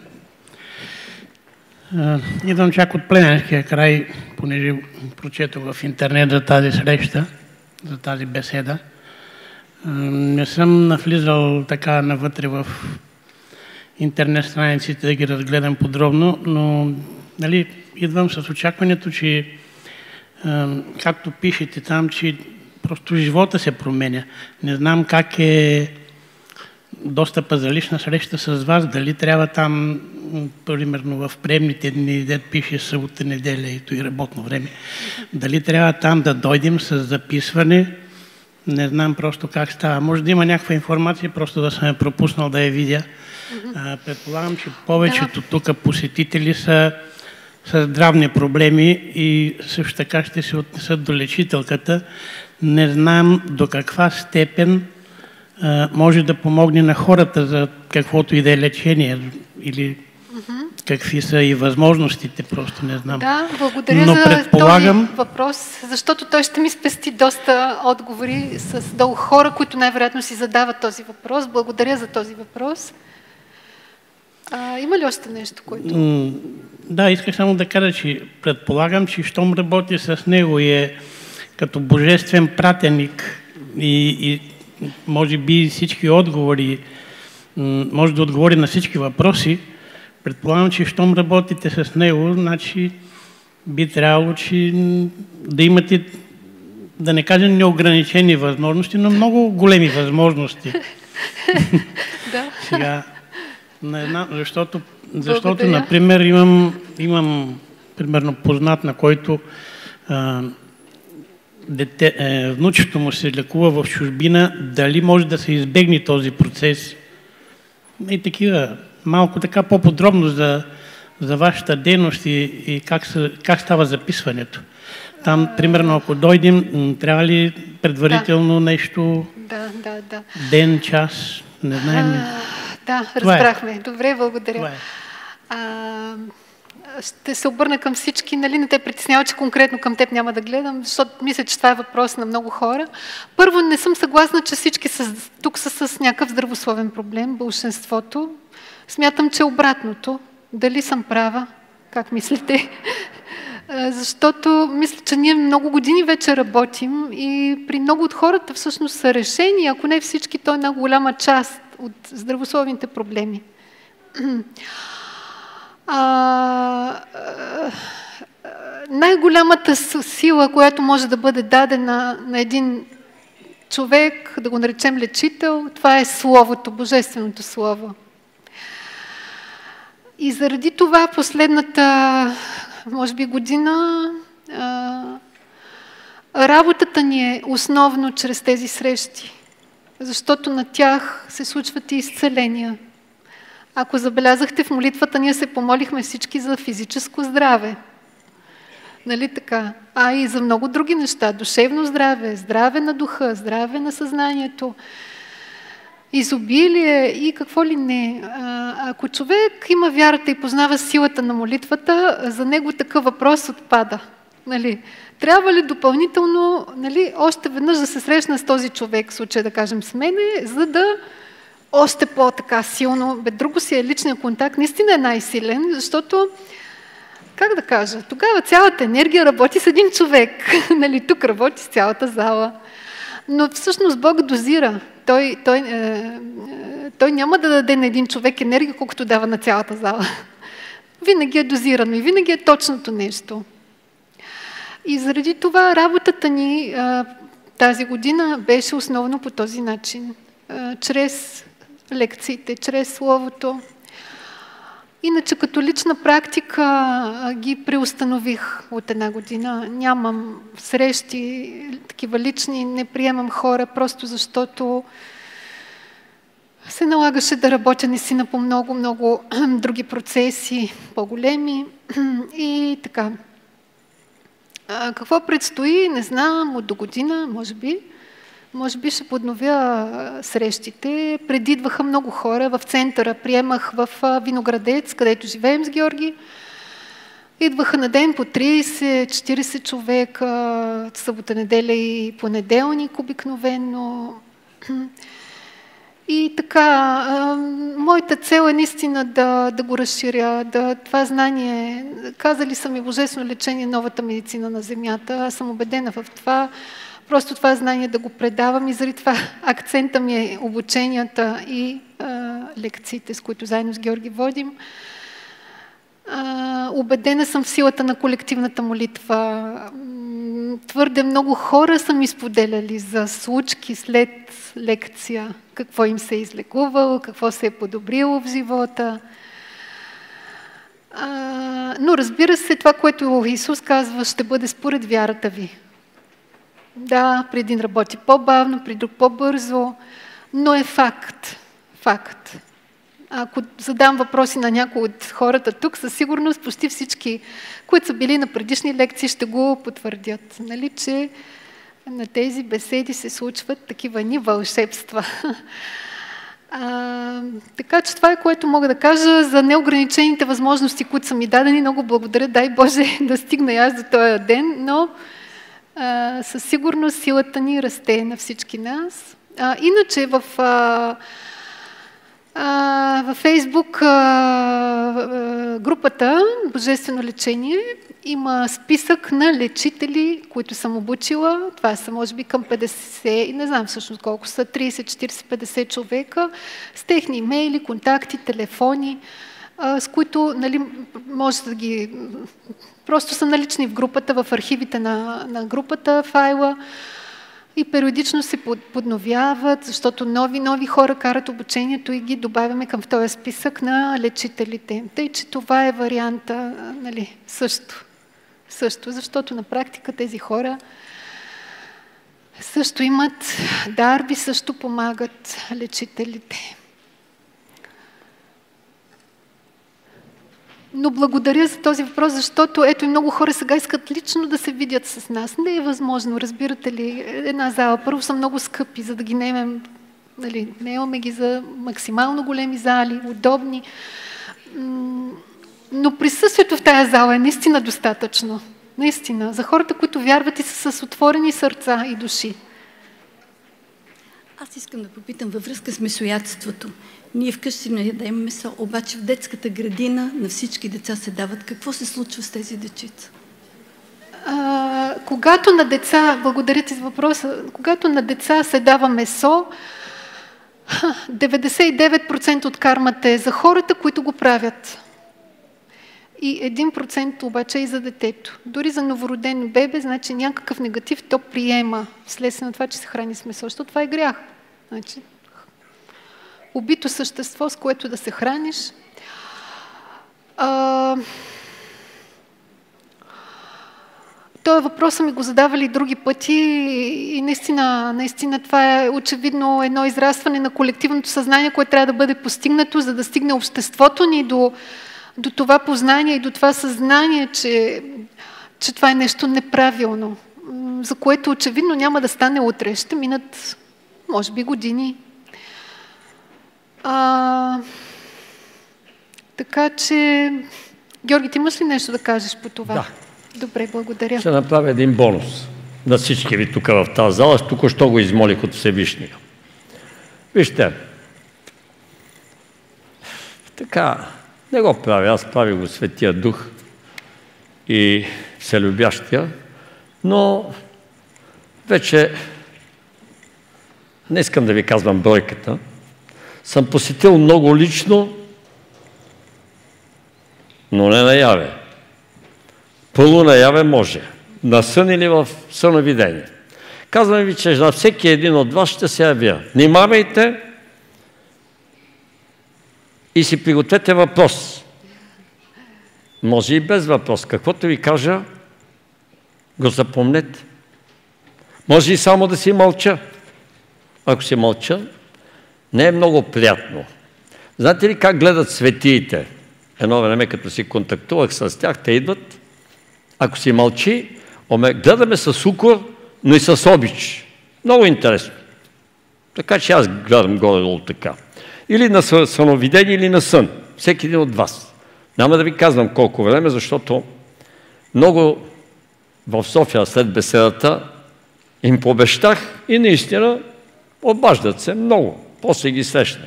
Обаче идва един у нас специално и вика, Георги, абе мина месец и половина, два от беседата. Нали обеща, че на всичките? Е ти какво искаш? Викам, тия 10 милиарда на земното кълбо така ли се обикалят? Шегувам се, разбира се. Викам, ти искаш веднага да дойда при тебе. Нали? Може след една година, може след две години. На някой може съм се явявал и пет пъти. Нали? на други по един път или те първа. Но вече е заслужил, така да се каже, връзката с Всевишния чрез мене, разбира се. Аз, аз съм нищо, аз съм една проекция от космоса, така да се каже. Но, нали ви казвам, затова не се притеснявайте. Оставете се колкото се може повече се осланяйте на невидимия свят, на духовните неща и пак казвам, вярвайте в невъзможното, невероятното, нещо необикновеното, което е, защото то съществува. Просто си отворите съзнанието, тогава е много по-лесно и аз да ви посетя и, и вие да, да възприемете нещата. Беше преди няколко години и една моя фенка, така, много ми се обаждаше. Знаеш ли ми телефона или ми пише дълги смс и такива. В крайна сметка, на мене ми дойде до гуша и викам така, слушай, моето момиче, тук до две-три вечери ще дойда у вас лично. Тя вика, как ще? Абе, ще дойда, бе. И сега, след една седмица дойде в София и се виждам и вика, Георги, аз знам, че ти си, ти вика си от тия, дето си изпълняваш обещанието. Ми е казал, обязателно, иначе ще ме накажат. Вика, беше преди три дни през нощта и детето ме бута, спиме с 10 годишния ми син. Вика на една голема спалня. Той спи и тя. Няма още разведена ли, не знам. И вика, детето по едно време бута и вика, Георген ли обеща, че ще дойде до леглото е в светлина. Събуди се, майко. И вика, аз се събуждам и те гледам до леглото. И ти викаш, и аз съм ми казал така. Викам, виж какво, не ми давай повече акъл за духовни работи. До тук ми дойде. А тя пише смс и ми дава акъл на Или старата българска поговорка на стар краставичар, краставици да му продаваш и да го учиш как се правят краставици. Нали? Е, значи същото стана и на мен, като ми омръзна, като отидох и казах в прав текст. И от тогава спря. Вече, особено като се видяхме, и замина за Гърция. Там на работа отиде. Но сега, значи, това се казва съновидение. Съновидение вижда се до теб. А като ме сънуваш на сън, значи аз не знам, че съм те посетил. Господ работи чрез моя образ. А като е в съновидение и ти помниш, и аз помня.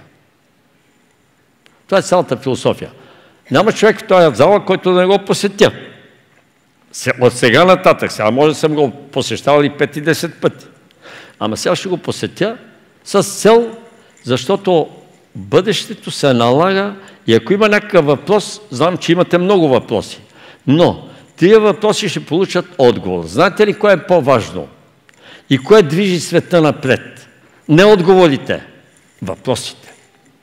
Въпросите са нещото и най-големия двигател перпетум мобиле, който движи светът напред. Прави еволюцията. Без въпрос, какво като ти отговорят. Е голяма работа, имаш отговора вече. Всичко е минало, заминало. Трябва нещо ново. Въпросите са откривателство, новаторство, изобретение и така. Благодаря ви много, че бяхте тука и чухте живото слово, което е. Разбира се, беше печатано, аз само го разтълкувах. Нищо не е от мене. Аз работя за Божията слава. На мене слава не ми трябва. А, колкото му трябва на сянката на дървото, му трябва вода, нали, и слънце, толкова и на мене ми трябва, защото аз съм проекция. А и всички сме така. Горе, знаете, имаме монади, имаме главни, централни духове, откъдето идваме и така нататък. Чели сте и го знаете по-добре от мене. Но дали има там голяма част истина, не мога да ви кажа, защото някой път се смея. Такива дебели книги написали за свободната воля на човека и така. Просто са смешни работи, за мен лично. Тъй като не е точно така. Да. А, Георги, въпросът беше за месото, за деца, които в детските градини се хранят с месо. Така. Децата от детските градини се хранят с месо, верно е, но аз имам наблюдавах една детска градина, така от доста време, и се установи, че от 10 новородени дечица, 7 не искат да дадат месо. Детските учителки, приятелки сами и наблюдавам. И казвам, 7 не искат. Кой ги кара после? Значи само три се раждат от другите. Другите са от новата раса. На тях не им трябва месо. Разбирате ли ме? Месото ще ги повреди. Месото им убива имунната система. Отслабва на, едно дете от новата раса. Както и на мене, месото ще ме отрови. На 1 август 2000 година го спрах съвсем. Сега е 2023 на 1 август 24 година карам без месо. Е как? И тогава не съм го обичал много. Но бабите и дядовците научиха и собствения внук, който казва, а, има ли месо, не ям.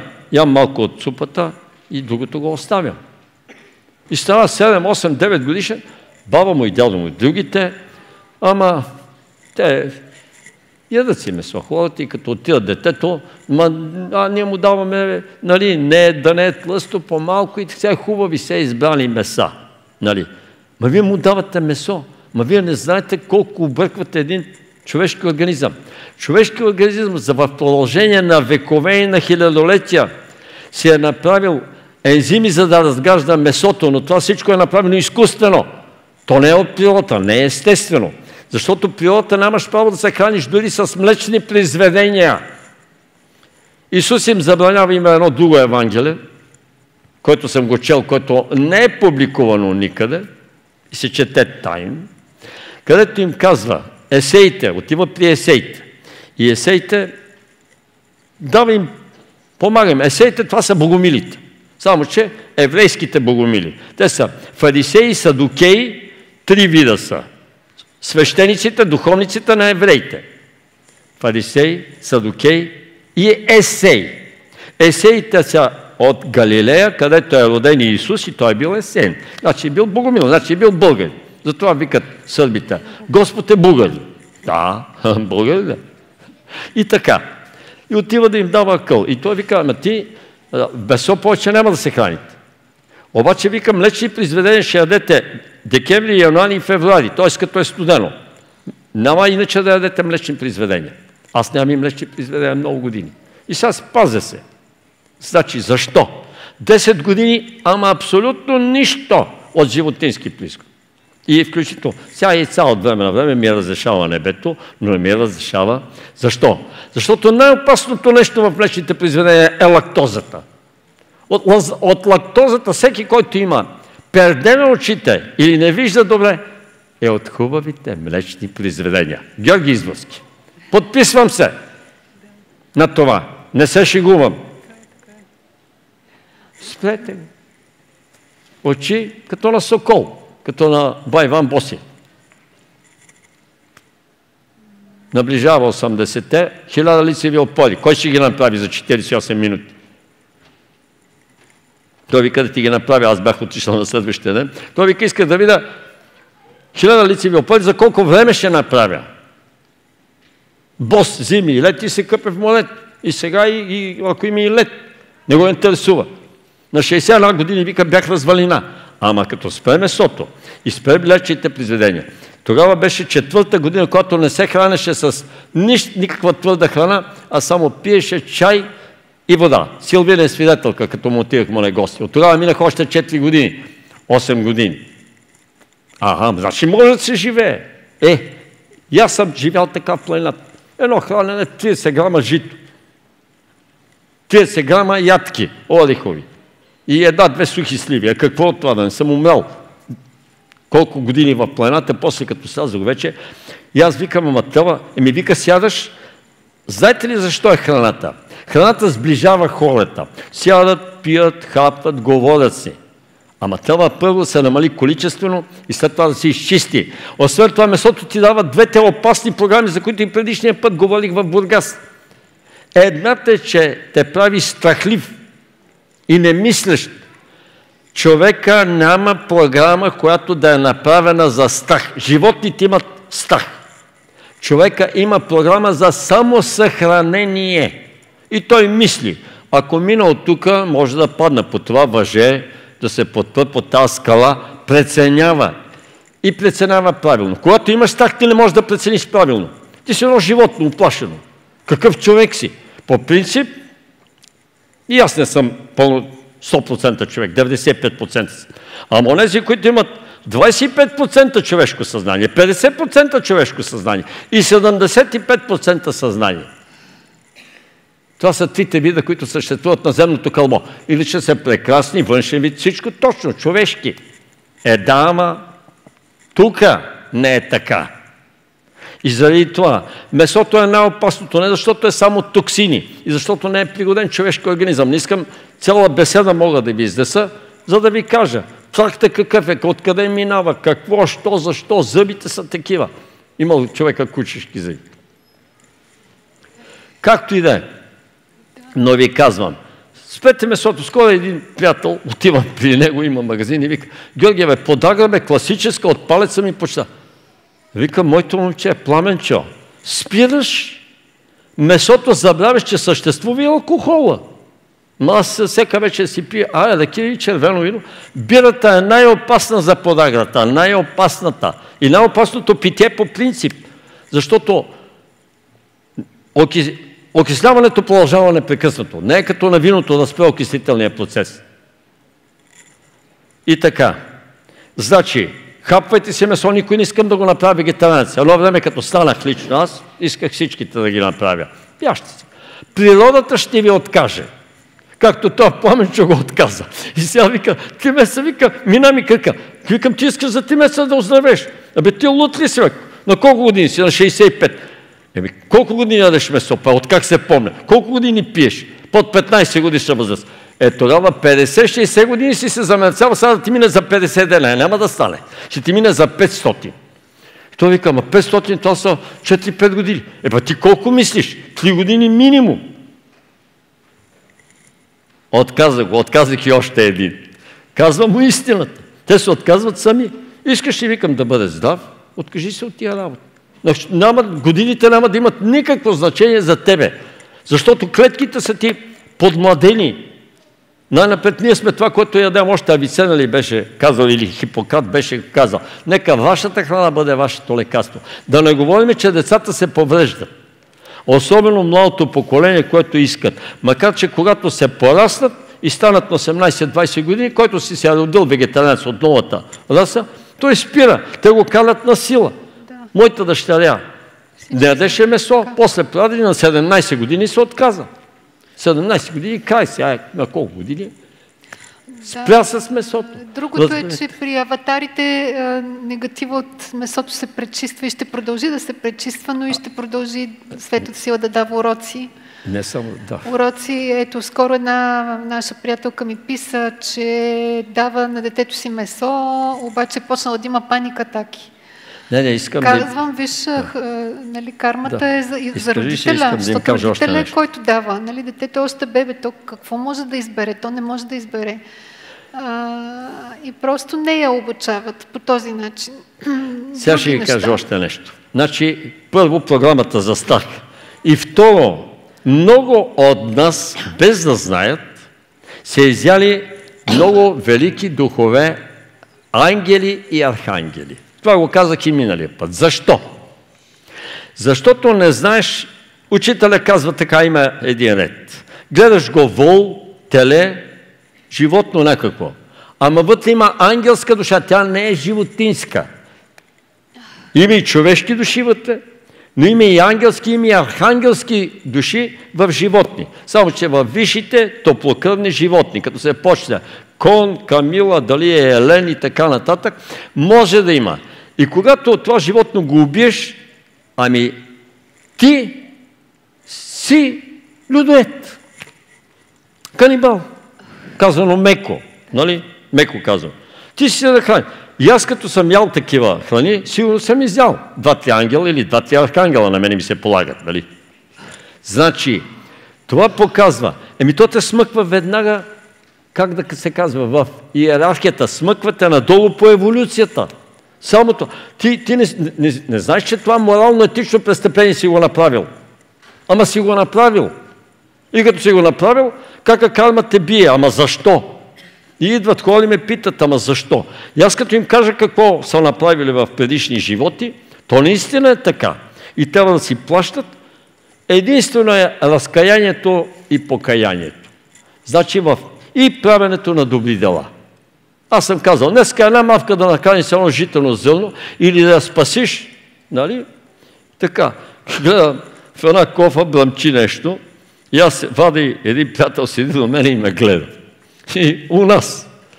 А тази вода за гълъбите съм я сипал да пият от нея. И той вика, бе, що спаси, това беше оса. Ами викам, това беше живо същество, бе. Погледни, викам, толкова години си ми приятел и не помадя толкова. Ами, ако беше пчела, значи ако е пчела, ще извада полезно същество. Ми викам, осата не е живо същество. Бе. Аз я загледах, тя ми къса тук и съхна и си лекна животно. Да не бе оживи случайно. Не. Значи ние да споделим. Видиш и змия смачки и главата. Пълни глупости. Змята е станала отровна, защото е станало отровно съзнанието на човека. И кръвопиещите и всички паразити от дървеницата до кърлежа и въшката са създадени от човешкото съзнание, само че природата ги създава, защото ние я молим да ги създаде. Отива, тя си има всички инструменти, всичко. Отиваме при нея и викаме, майко природо, създай нещо, едно кръвопиещо, създай едно отровно, че като тухапе да умреш. О, ами, така е. Може ли да вмъкна нали, какво Край. всъщност за дървениците? За дървениците. Значи, съществата се създават в отговор, не че самото човешко съзнание ги създава, те се създават в отговор, те се появяват, а, айде да не се създават, те се появяват в отговор на човешкото съзнание. И заради това, примерно, хора, които питат ме, сега, примерно, в дома ми има мравки. Къде съм сгрешил, че мравки, примерно? Ами, викам нещо с материалното съзнание си сгрешил. Ето сега в Париж и вече и в Лондон има много дървеници. Не знам дали сте чули по медиите, ама направо е нашествие. И проверих да видя какво са дървениците, защото никога не съм се срещала, даже не съм ги виждала. А, се оказа, че когато хората нарушават истината, т.е. са лицемерни, притворни, както са французите, нали? А, не всички де, но като цяло това е една нация, която истината явно куца. И отговора са хубавите дървеници, които сега ги тормозят. Е, сега добре, че ме подсети. Ти, а, Силви беше свидетелка. На моето се сме с нея, имахме една каравана и идва една наша приятелка. Само дето не си лоши дюшеците, ама един багаж. Много. Аз гледам и викам, къде отиваш? И тя вика, отивам на събора на локерите и не знам къде, до Бълчик. Как се казваше тази местност? Ние сме ходили там. Кава, каварно. Една огромна поляна има и там се настаняват те на, на палатки, там пускат разни... Е, разбира се, те си пият бира, чевермета и така нататък, всичко е точно. Обаче, тя отива, празника продължава 3-4 дена. На следващия ден, късно вечерта, идва, връща. Викам, чай, ти нали замина там на празника? Там, викам, щяхте няколко да. Тя вика, не се седи там. Викам, как не се седи, бе, та хубава поляна, къде там имаше някакво пристанище за сол на хиляди години. Аз съм минавал там. Който от този район там знае Кавална, къде е. А, точно така, и Бълчик. И тя вика, отивам, по едно време вика, те вече разпънали палатки, това, ама гледам, прибират и викам, какво става тук? Толкова много кърлежи, вика, никой не е виждал през живота си. Откъде дойдеха? На всека тревка по 100, по 200. Вика, почерня цялата поляна. Тя поляна е огромна, сигурно 300 декара, откъде да знам. Аз така на око се ме гледам, там до, до това селото е тук, поляната и от тук е морето. И вика, като нападнаха, не може, къде е спален чувал, къде е палатка, къде е това. Всичко прибраха и хайде да ги няма. Ето какво направи хубавата природа. И ние ще се борим с природата. Искаш ли да починиш природата? На напред ти трябва да се починиш на нея. Да й станеш приятел. Тогава тя ти е приятел и се грижи за тебе. Ако не си приятел, вика да го бие едния град. Ето, Силвина беше свидетелка в Шумен. Да, да. Едно зърно не падна на пътеката буря, е такива дървета кърши от двете страни. Пътеката, където вървиме четирима души към колата, половин час не падна, само наши шишатки падаха от високите бода. Сухо, там всичко пред нас. Не е чудо. Наистина не е чудо, е... защото казах една молитва на Господа, аз виждам облака. Абсолютно. Той е градоносен всичко и буденосен. Е... И Господ вика спокойно, синко вървете. Като се качихме в колата, Нямаше град, ама си изля такава вода. Он е пуска чистачките, тя не могат да изчистят. А викам, чакай 15 минути да свърши дъжда, бе. А те като че ли изливат вода. То не може, не се вижда нищо. Но ни изчакаха. Това не е чудо, а е нормално. Щом имаш връзка с тебето, е напълно нормално. Това обяснява и промените с климата, нали? климатичните промени, които толкова са актуални. Всичко е в отговор на човешкото съзнание. Учител е казал, ако израсне човешкото съзнание, зимата на Земята ще изчезне. Да, ами да е. ви кажа, тя е на път да изчезне, поне тук в нашите ширини. И не само зимата, но всички тия вредните работи, насекоми и така, всичко ще изчезне. Значи ще останат само всички хубави Ето в нашата градина за сега има само мравки, все още, които присъстват. Значи няма. Изчезнаха комари, миризливки, а, въшки и там каквито други Така. изчезнаха. А, мравките, материалното съзнание, кърлежите, да кажем, са целомъдрието. Не целомъдрените хора се срещат рано или късно с кърлеж, нали, нещо става. А, интересно е също затоплянето. Е, това си говорихме колко е топло днес във Варна. Това е когато има ангелско присъствие много силно, както днес смятам, че има в град Варна.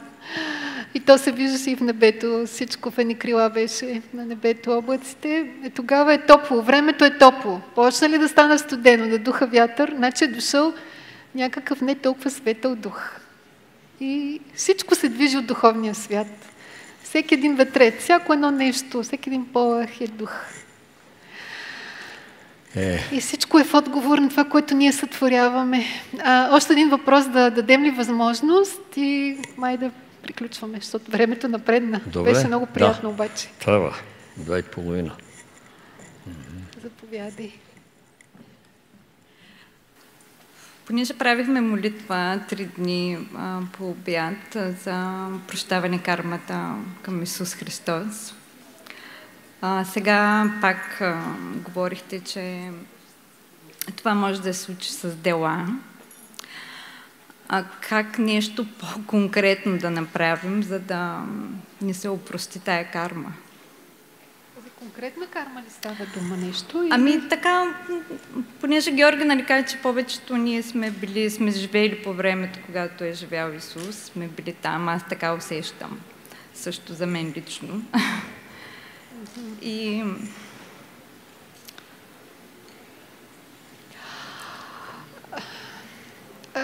Опрощаването на кармата е един наистина много, много дълъг процес. Ако си мислиш, че това е нещо, което се е случило от пред последните три дни, не е така. Не, не, да. Понеже ти си казала молитви. При аватарите с опрощаване на кармата се работи от 2012 година. Значи това са толкова много процеси. Много процеси. Сега просто на теб ти е попаднало и е станало така, че Не, да се въпросът помолиш. ми е аз дали мога да направя нещо. Какво нали, би могла да... друго да правиш, какво- освен да се молиш? Така да, ли? да, да.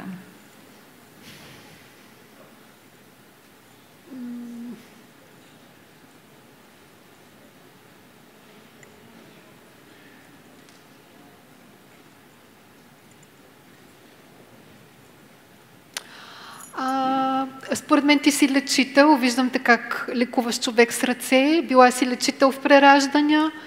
И а, това е, е другото. Аз казах как изкупва човек карма, но не казах чрез служене. Това е един от много силните начини човек да си плати карма. Когато служи, когато помага на другите. А, така че, може би, натам ще те поведат нещата. Да започнеш да, помагаш, да лекуваш. Знаеш ли, кармата може да изплатиш не само с страдание болесно, но и с полагане на усилия, да работиш като говорих. Черен египетски труд. Да, да, Да да. вършиш нещо, но не за пари. Всеки отиваш, както аз чистех 8 км към Белмекен и обратно 16 км. Там, за да ми е чисто. От двете страни на пътя, с чували. И тук има свидетели момчета, които спраха с джипа и викат, какво правиш, Гаги? Викам, чиста. Шосето чистя. Шосето е на кое? На държавата. Ама аз го чистих. Значи, отиваш една чешма край пътна и почва да я чистиш, защото така видях един таксиметров шофьор. Вика, колко пъти минал тук, имам клиент от това село, отивам и чиста чешмата. Те пак замърсява, той пак чисти. Никой не го кара. И аз го виждам, че той е ангел. Ангел, който е шофьор в момента на земята. Значи вършиш нещо, но нали, напълно безколисто и полагаш усилия, труд, дори да няма. Затова е народната поговорка. Залудо работи, залудо не стой. Залудо, в крайна сметка, когато това ти очиства нещата, чистити кармата. И докато трябва. Значи... Но твоя най-силен метод е служенето. Това е, нали, моята Но ако, има, да, ако имаш далба, изучавай, изучавай растенията. Безколисното Връзка служене, с растителния е. свят, да. Добре. И а, благодаря. И друг въпрос, който ми зададоха, но да се Чакай, още да тръгна. Или... А, а, как може да се изчисти а, кармата на нас, родителите, които сме давали месо на нашите деца?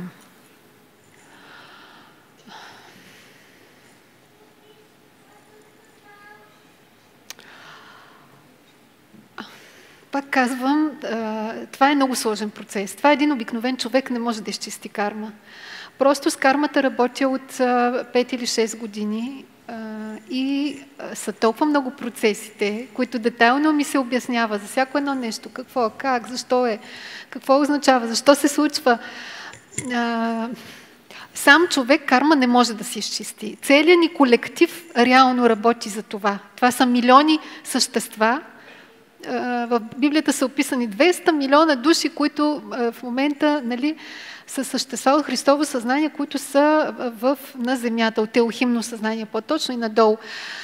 А, така че това е един колосален процес, за който светлата сила работи. Карма могат да, да нали, но кой заслужава това? Това е по-точният въпрос. Неточен въпрос е как да си изчистя кармата. Да. Как да заслужа светлата сила да ми пречисти кармата. Нали? Да. Тоест, какво да направя така, че да имам тази помощ, която съм сигурна, че я имаш вече. Нали? Е, ти със сигурност си от аватарите. И с теб много отдавна се работи. А, специално за децата, на които си, нали,